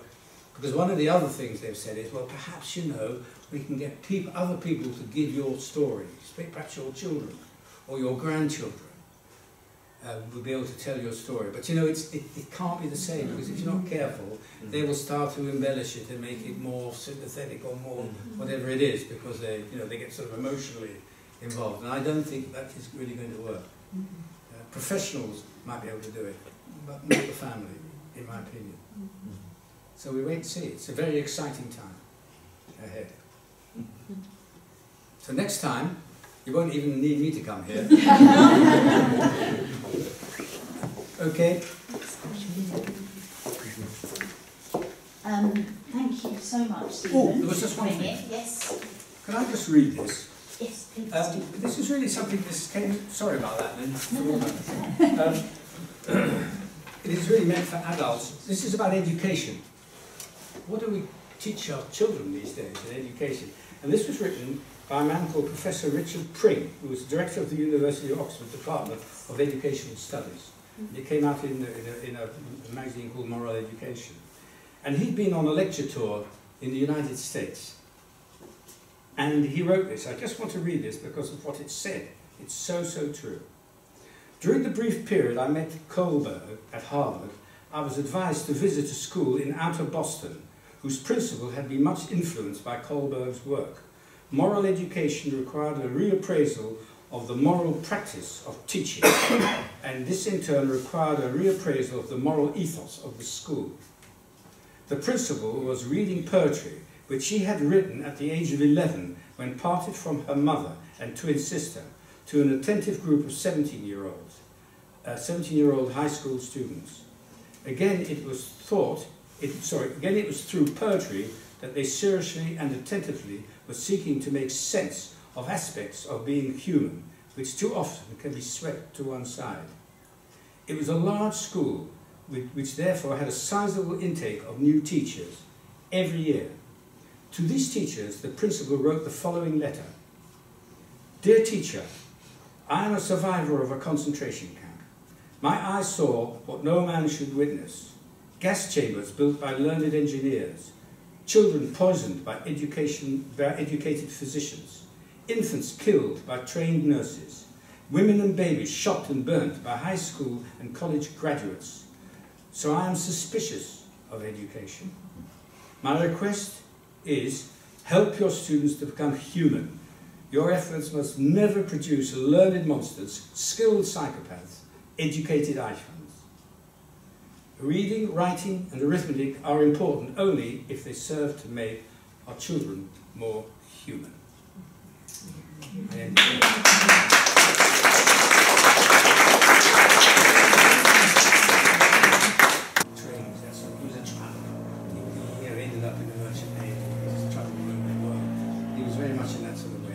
My younger brother and I, we were, we were always knocking about and sporty and played um, football together and hockey particularly together. And, and of course also um, you know, we, we got into trouble together.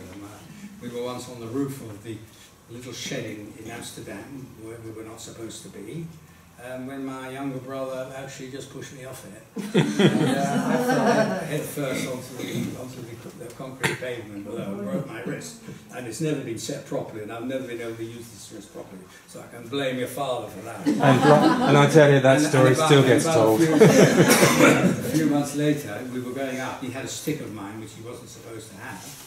Um, and we started fighting, and I pushed him through one of these glass draftings, and he got a huge scar just before we due to go for a party. and he got this scar. You know, he was he was cut. But he was such a podgy little fellow. It was just like, you know when you get a sausage before you actually prick it? you know, sort of bursts. It was a bit like that. Actually, Steve, I've got I've got a question for you. Actually, you said in one in one part of the talk you're talking about how uh, the Nazis they they took went to um, brothers and sisters and split them. You saw this, but it wasn't didn't affect you. Yet you had you were there, three of you together, Yeah. three brothers together. Yeah. How did that work?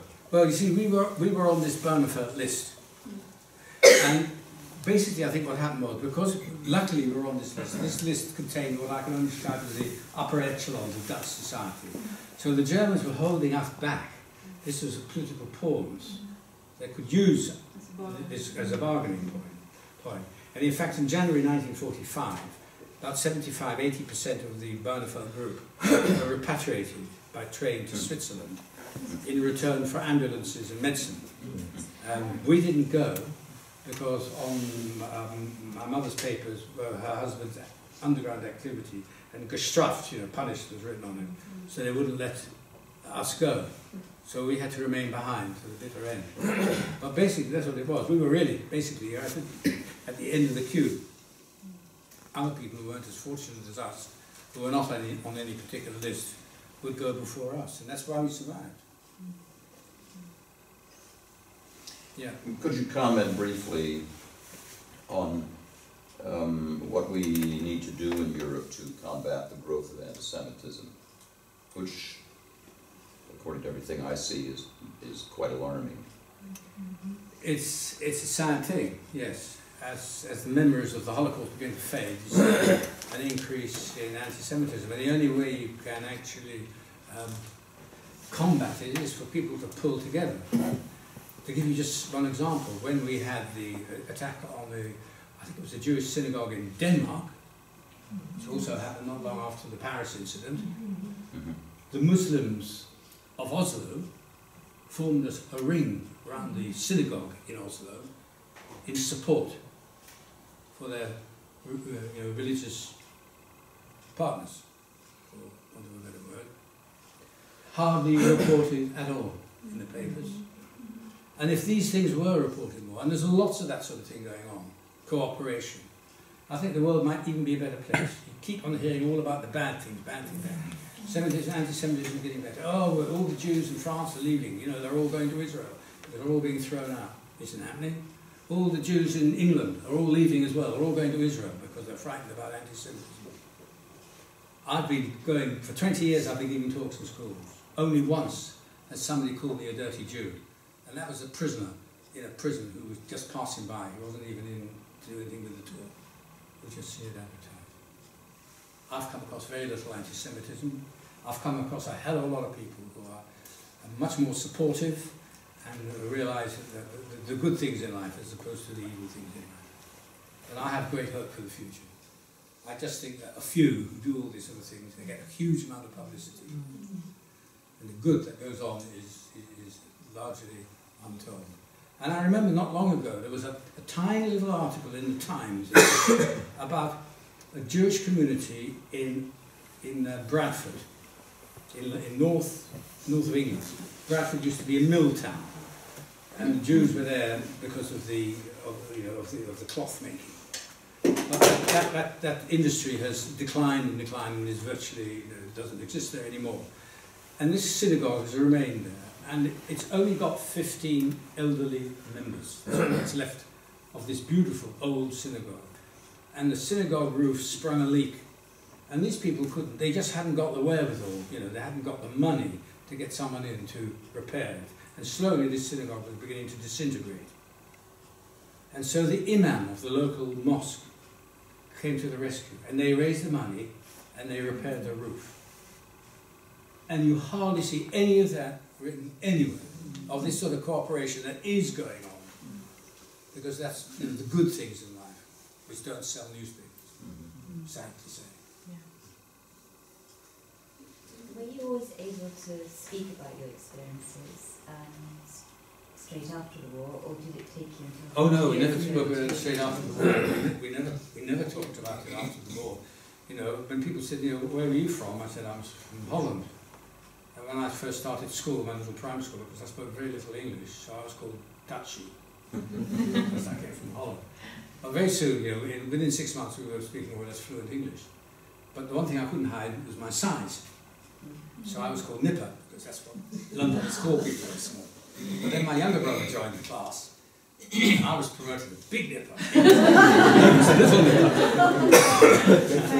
but we, you know, that's the one thing we couldn't hide was our size. And just to give you an example of that, in 1946 I had to go to the hospital, I had my tonsils out. And much to my absolute annoyance, they put me in a ward with cots with sides. Oh. The staff thought I was three. Oh. I was ten. To give you some idea, you know, we just had not grown. And these were the sort of things. And I always remember because of its mathematical connotation. Um, they used to weigh you and measure you, you know, uh, just after the war in, in throughout the whole, all the schools in, in, in the UK. And I remember when I was 14 years, 6 months, I weighed 4 stone 6, and I was 4 foot 6 inches high. That's why I remember it. So, it, you know, it took a, took a long time. In fact, my, my younger brother was so small that, you know, my mother was really quite worried about whether he was going to grow at all. So, he, you know, he had some sort of medical, you know, look, you know, the medical people looked at him to see whether there was something wrong, whether he, whether he had dwarfism or something like that. And of course, in the end, you know, it all sort of saw itself out. Yeah. How, how did you catch up with education? You were how old when you Well, I had no primary school education whatsoever. I did, I did know my multiplication tables up to 10, I'm like, uh, not to 12. You don't do that. In Holland, why they do it now, I don't know, because we're all decimalised anyway. But. That's another, that's another topic of education. Um, and I had virtually no, no um, primary school education at all. So I came to England, and I remember having these, uh, they used to have these mental arithmetic tests, where they said, what's 10 plus 3, and what's 7 minus 5? And I didn't know what plus and minus meant. And I didn't dare ask, you know, and so I just guessed the number, 19 99% of the time I was wrong, but 1% I was right. um, and yeah, it took ages. And you know, this thing that you have in schools, you know, when you're in your primary school, all those poems you learn, all those plays you learn, all those things all helps to sort of build up that, that um, hard disk inside your brain. I haven't had that. I never learned how to learn. So when I was at school, I was always at the bottom of the class. Always at the bottom of the class. I left school with two O levels. Failed exam after exam. And I remember my mother coming to the school um, and my class teacher said to my mother, I'm afraid we haven't got much hope for Steven. Perhaps he could go into the family business. So my mother laughed and said, family business? We don't have a family business. But I remember I was so incensed by what this man said. I said, I'm going to show the old bugger wrong. Excuse the French. I'm going to show him wrong. And I then had to go do my national service. So I said two years national service. I did active service. And again, I had a, a really weird experience during national service. Because one, they did a lot of uh, films that they showed you in national service, all about you know the, the evacuation of Dunkirk and the D-Day invasion and this this um, pro thing and the, you know the what was going in North Africa and. And then I saw a film on Belsen that they showed, and you saw these walking skeletons, and I knew how these people felt because I was one of them, but I couldn't say anything, which was a very weird feeling. And the other thing was I was on active service in Cyprus. Whereas in 1945, I would be a little boy standing there and seeing German armed troops going past and me looking at them, hating them for it. In 1955, only 10 years later, I was in an armoured car. I had little Greek Cypriot boys looking at me, and I knew exactly what they were thinking. I'd been thinking the same thing, you know, 10 years previously. So I, I made a sort of complete circle of it. It was a really weird thing. But just going back to the education thing, when I finished my national service, I decided that I, I must, you know, I must get myself educated. So I started. I went to night school and I got my my O levels I required. Then I did my A levels, and it was really hard slog. I wanted to, to be a scientist, so I had to do maths, physics, and chemistry at A level. And could I pass maths A level? I took it seven times. But then I got it, mm-hmm. and I could carry on. And eventually I ended up at the age of 35 with an honours degree in, in chemistry from the University of London. But it was a real hard slog all the way because, again, I hadn't learned how to learn. It was really difficult. The end I got there. So I always tell the kids when I'm at school, you know, don't you, if everybody says, you know, oh, you're a failure, forget it. If you want to do something, get on with it. And really, you know, do your best and don't give up. People who give up, there's no hope for them. You have to keep going, keep doing it. You'll get there. Is what I did.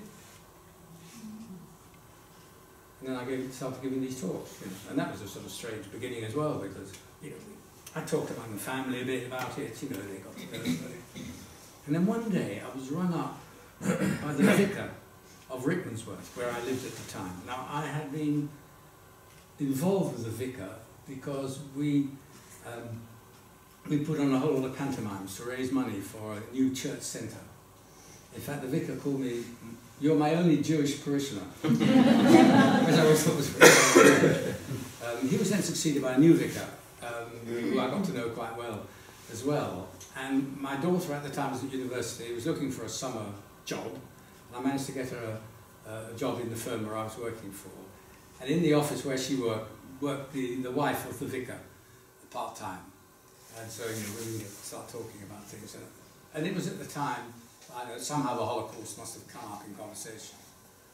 And so my daughter must have said something to this, to this um, Barbara, and Barbara said it to Bill, uh, her, husband. And one day, I used to know this guy because on a Friday we, I used to go to the social club for a pint at lunchtime, and he would be there collecting his wife. So you, know, you got to know him. And he rang me up one day and he said, Steven, he said, he was very, very crazy. He said, in a few weeks' time, we, we are um, focusing our attention on Amnesty International. And we're going to have uh, a big candle with a barbed wire around it, which is the logo of Amnesty International. And we're going to be praying for those who are so unfortunate. And I said, I would like you to light a candle. I know a little about you from Barbara, who seems to know something about your background. And I thought, how on earth did she know? And then, of course, suddenly it twigged. My daughter must have been. um, I said, don't give me an answer now. Think about it. And then let me know. Okay, I said, I'll do that. Then I started thinking about it. And I thought, here I am. I've been in love. I've got married. I've got children. I've played sport. I've had a, a really, you know, happy life. Well, reasonably happy life anyway, oh, other than all that studying I had to do. But, you know, so it was, you know, I've been really lucky. I think the time has come that I must put something back. So I rang him up and I said I'd do it. And he said, good, excellent. He said, when we, when we a service in about three weeks' time, come into the church, sit in the front row of the pews because nobody sits there.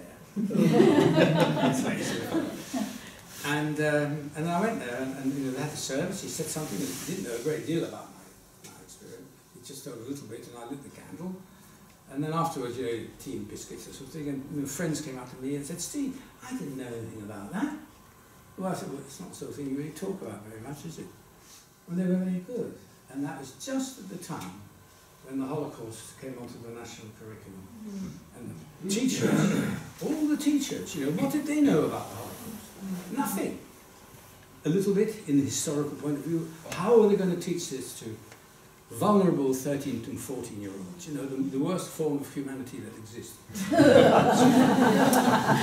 14 year olds, they are the worst. Uh, teach very, very uh, emotive. And then they decided that they'd have people like the Imperial War Museum, various Jewish organizations, um, had seminars for these teachers to go to, and somebody said, oh, why don't you get a Holocaust survivor come in and tell their story? And then we did that. And then they said, why don't we tell it in the schools? So we started doing that, and the thing just mushroomed. There's one school, I'll be going there every year for 20 years. Hmm. We're having a big party in November, when it's, sorry, that'll be my 20th, my 20th appearance yeah.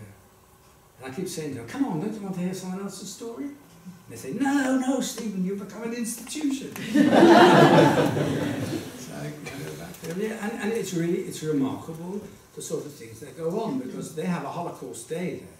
So they spend the whole day doing poetry and drawings and all sorts of things, as well as my talk. And the, the um, upper sixth put on a play, which they have to do for their drama A-level thing, which is assessed by, you know, an outside assessor. And on this particular uh, uh, um, year when I was there, they put on a play. There were only uh, four actors, two, three women and, and a boy, who were in this thing. And they put on this play, and it was about war and the tragedy of war. And the, the first part of the play was a, a woman who saw uh, her, her young son go to war in the 1914-18 war. She was a pacifist. He felt that it was his duty to king and country to go to war. And of course, he never comes back. And the play was based on that. The second one was a, a, a, a wife saw her husband go off to war in the Second World War, similar sort of thing. He gets killed, doesn't come back. And the third one was a girlfriend who sees her boyfriend go off to Afghanistan and come back in, in a body bag. And they did all this research, and particularly for the last one, they stood at the side of the road, you know, at Benson Airdrome, and when the cortege comes past with all the bodies on, they were there interviewing the people who were standing at the side of the road there, what their relationship was to the people who were coming. And then they put this play on. And it was lovely. It was a really superb play that they did. And at the end, I said, you really did a good job there. And one of the, one of the kids said to me, Mr. Frank, I thought you might like to know, we put this play on because we remember what you said to us when we were in year nine. oh, well, well, there you are. It says it all, doesn't? Yeah. Any other questions? If there's time. After, after you liberated from the concentration camp and then you went to England, how did you cope with normal life emotionally and psychologically? We just coped, you know, because sometimes, you know, kids say to you, oh, well, did you have any counselling? and then say counselling, the word wasn't even invented. No, you just have to get on with it, you know. Yes, it would be tough. Yes, we'd be, I suppose, in some sort of way traumatized. Yes, we were awkward buggers, but that's why we survived, because we were awkward. And we just had to get on with it, which is what we did. And, you know, it doesn't, you know, my, my, both my brothers had, we all had educational problems, but we all got there in the end. We all achieved our, our, our goal. So, um, yeah, you just have to get on with it. And I suppose we had this determination, which is what a lot of survivors have. That's why they live to be great ages, you know. Survivors live to be quite old. And your mum? My What mum, did- What did she do then? she came to England. Um, her, si- her sister and her husband were both murdered in Auschwitz. Their daughter was hidden on a farm in Friesland. She was brought to England. My mother took her on as well, so she had, as a widow, she had four children to look after. And of great credit to her that my cousin called her mother, not auntie, mother, and we were her brothers, and she was our sister. And we remained very close, you know, throughout her life. She sadly she died some years ago. She had diabetes and died. But um, she was just a remarkable woman, and then she was widowed for about 45 years, and then she married again. And for a brief moment, we saw real happiness in that face. But she wasn't married for long, for they were on holiday in France, and then he died Mm. in France on holiday. And she came back and grieved again in, in private. You know, very little said to us about her grief. She was just an, uh, just an amazing person. And um, I don't think I can, there are many people who can say they had four grandparents who were pioneers in one way or another, and two parents who were unbelievably brave. And I'm very proud of them. She had an incredible survival instinct, even when she was old, like escaping from old people's Oh, yes, homes. yes, I mean, right. it- she it's really quite she extraordinary.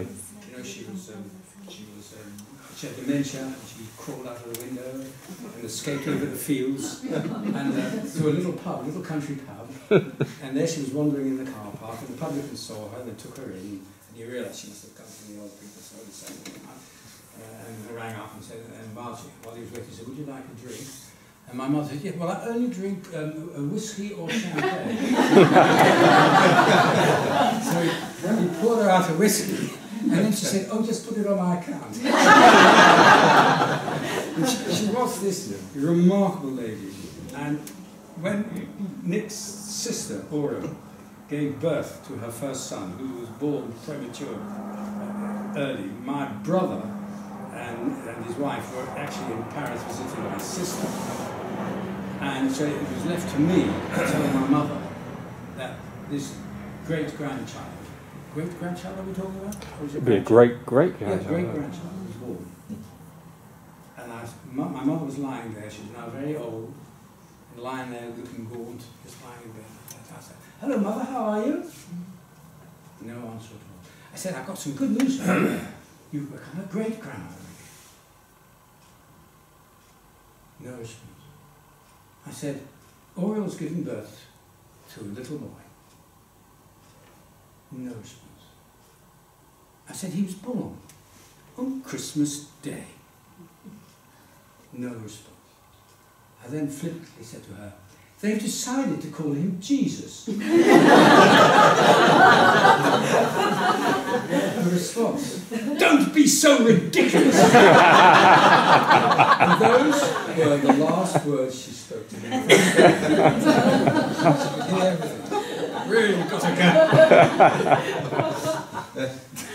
she was, you know, the trouble is, you know, when you're younger, you just accepted, well, that was normal. But certainly when you get older, you realise what a remarkable woman she really was. And what my father, who was so wise, could see in this young, flippant little 18-year-old, as she did when she first came to, to, to Holland, what he could see in her. That he should choose her to be his wife and to be the mother of his children. You know, it's amazing. Mm. I mean, she's, they got back. I mean, you haven't told that part of the story. How you actually got from the cat from Theresienstadt in two days back to London. To London. Do you want to hear that story? Yeah. We have all night. My, my, my um, you know, the, we've been liberated, and now they were sent to be. First of all, the Czechs went back to their houses. Then the, they, the Red Cross organised the, uh, the Hungarians to be put on a, a transport uh, train that took them all back to Budapest. Then it was the turn of the Dutch. There were there were so many there, so they had to have three transports. And we were selected to be on the second transport. But my mother didn't want to go to Holland. She said, no, I don't want to go to Holland. I fear there'll be nobody left alive. I want to go to England, where my, my family is. I don't want to go back to Holland. And the Red Cross said, look, I'm terribly sorry, but you know, here, you know, the Russians don't talk to the Brits. There's no communication there. You've got to go back on the transport that's been arranged, go to Holland, go to The Hague, go to the embassy, get permission to come to England, um, and do it that way. And my mum said, I don't want to do that, I don't want to do it. But still protesting, we were put on this second transport, and we were taken to a, a holding camp in a place called Falkenau, which again was a castle, uh, right on the, on the Czech-German border, where we were sort of held for a few days while they were organising transportation. With my mother still pleading with the Red Cross about wanting to go to England. And then one of the officials came along and said, look, there's, a, there's, a, there's an ambulance. It's got a whole lot of wounded French soldiers in there. There's room for you and the children if you want to go to Pilsen. Pilsen was liberated by the Americans, General Patton. And so, if you want to take a chance, go there, because the Americans are talking to the Brits, you might have a better chance. So my mother said yes, so we got into the ambulance. My mother sat in the front, it was one of those sort of bed seats. Uh, we sat in the back with all these French um, wounded soldiers, those bandages around their heads, one leg up, and all arms and slings and things. Scintillating, scintillating conversations between somebody who only spoke Dutch and somebody who only spoke French, you know. Um, and the journey seemed to take ages, and eventually we got there to Pilsen, it was dark, and we were taken into this huge. And it, what we'd, we had arrived at what was called the DP camp, that's Displaced Persons Camp. And it was all lit inside with these huge arc, lamp, arc lamps. And it was absolutely chock-a-block with people. And they were moaning and wailing and groaning and crying. And it, it, it, was, it was the most miserable uh, mass of humanity I had seen. It's still quite vivid in my mind. Oh, it was dreadful. And the following morning, you know, we went off with the French, back into the ambulance, and off to the airfield. Got to the airfield, and the official said, Stop, only the French are allowed to proceed. All the other people back into this DP camp. And then my mother, who was under five foot tall, said, I'm not going back in there. I said, I've just spent two and a half years in the camps, I'm not going back in there. Oh yes you are. Oh no I'm not. Oh yes you are. Oh no I'm not. I demand to see the garrison commander. You can't. Oh yes I can. Oh no you can't. And this went on, and eventually they gave way. And the garrison commander came along and took pity on this little lady with these three skinny little boys. And we were put into a barrack outside this DP camp, which had been vacated, a small barrack. And that night I slept in a bed with springs. Well, they weren't springs; they were these sort of metal strips across, and a palisade on the top, very thin, about that thin, and blanket. And that was, if that wasn't the only luxury, in the morning an American orderly came in and brought us a cup of tea made with condensed milk. Do you know, I can still taste it now. Oh, fantastic. Absolutely fantastic. And then my mother went to see the garrison commander, explained to her that she wanted to go to England, where her father was, was could he help?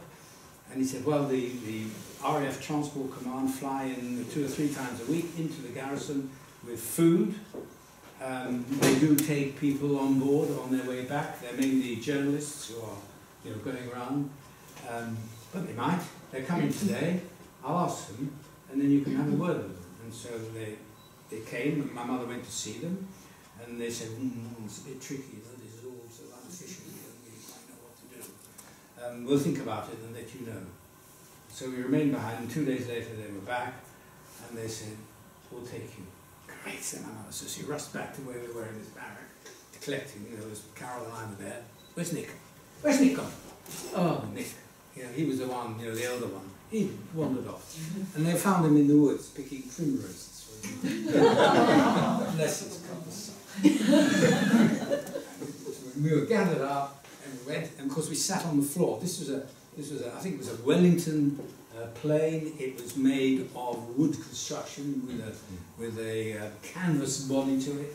There were holes in the, in the fuselage where obviously it'd been hit with bullets at some stage or other.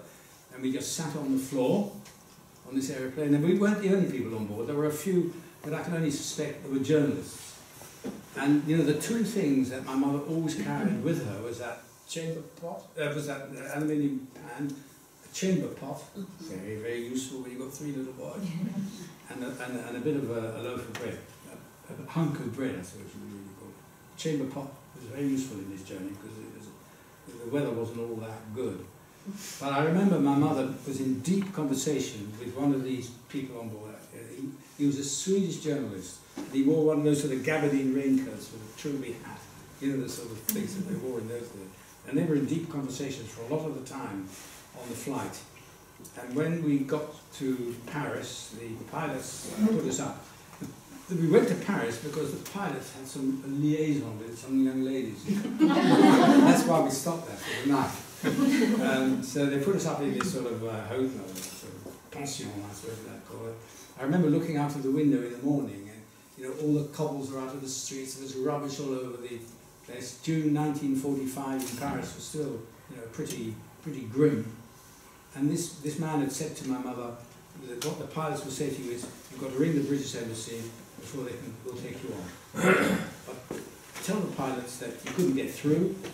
Uh, telephone lines weren't working, and that's. This is exactly what she did, and it's exactly what they did.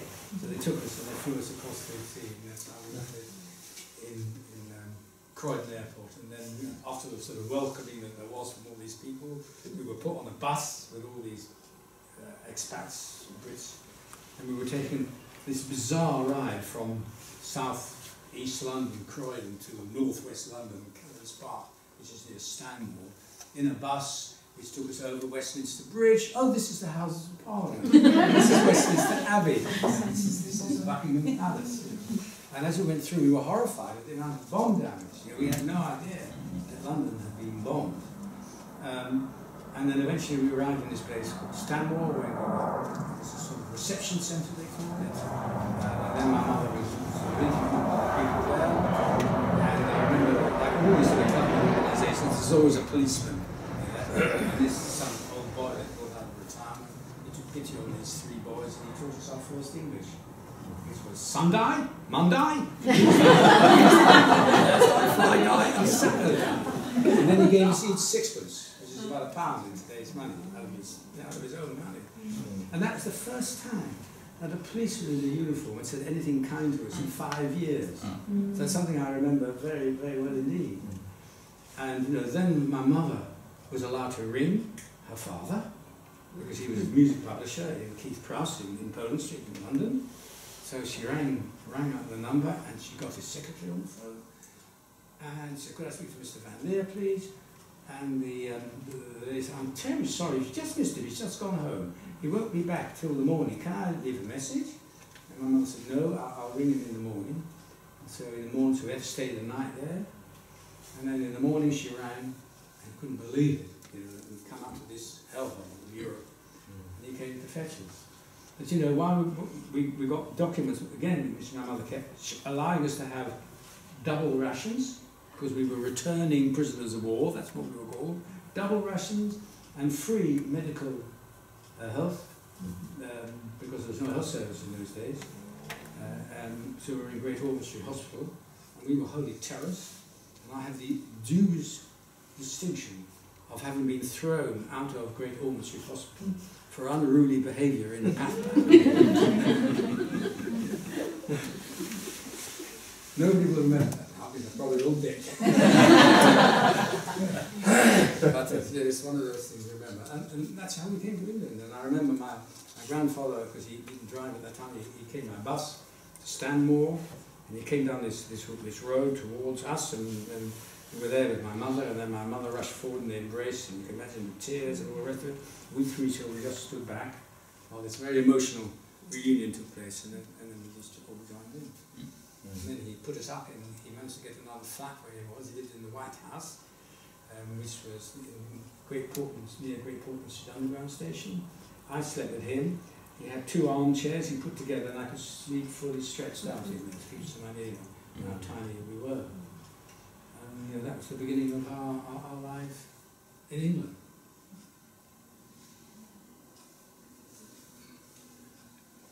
What is a question? Like, so when you were in the camp, and like, how did you avoid getting sick? And there was so much of it around you and all the Luck? left. Well, my, other, my younger brother got scarlet fever, but he recovered.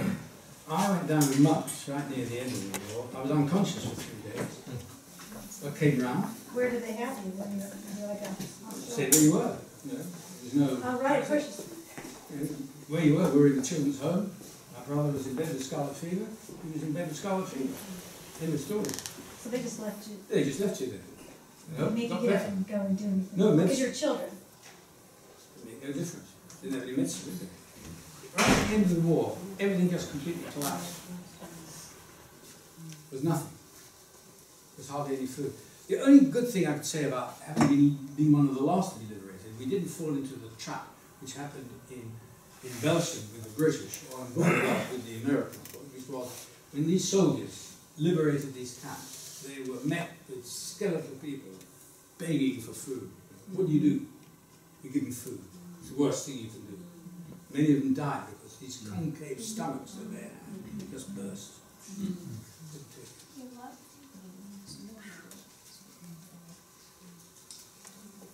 Was it like a work camp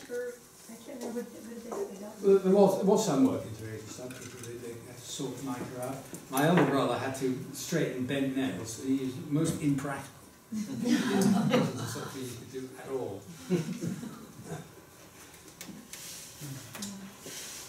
So, um, Steven has said that, um, obviously, uh, he's been with the children here at St George's today, and, uh, and if you have any other questions at any point, anything that comes up, anything for the kids that comes up, please don't hesitate to, uh, contact us, you can contact us through Passage, and, uh, and Steven will quite happily I'll have to ask a question.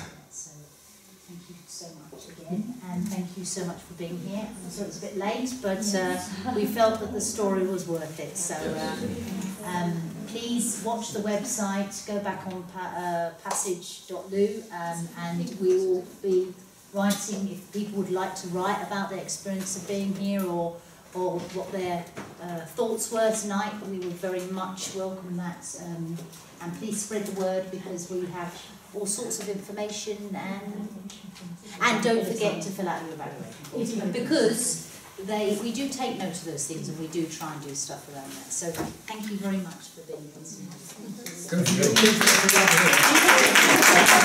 here.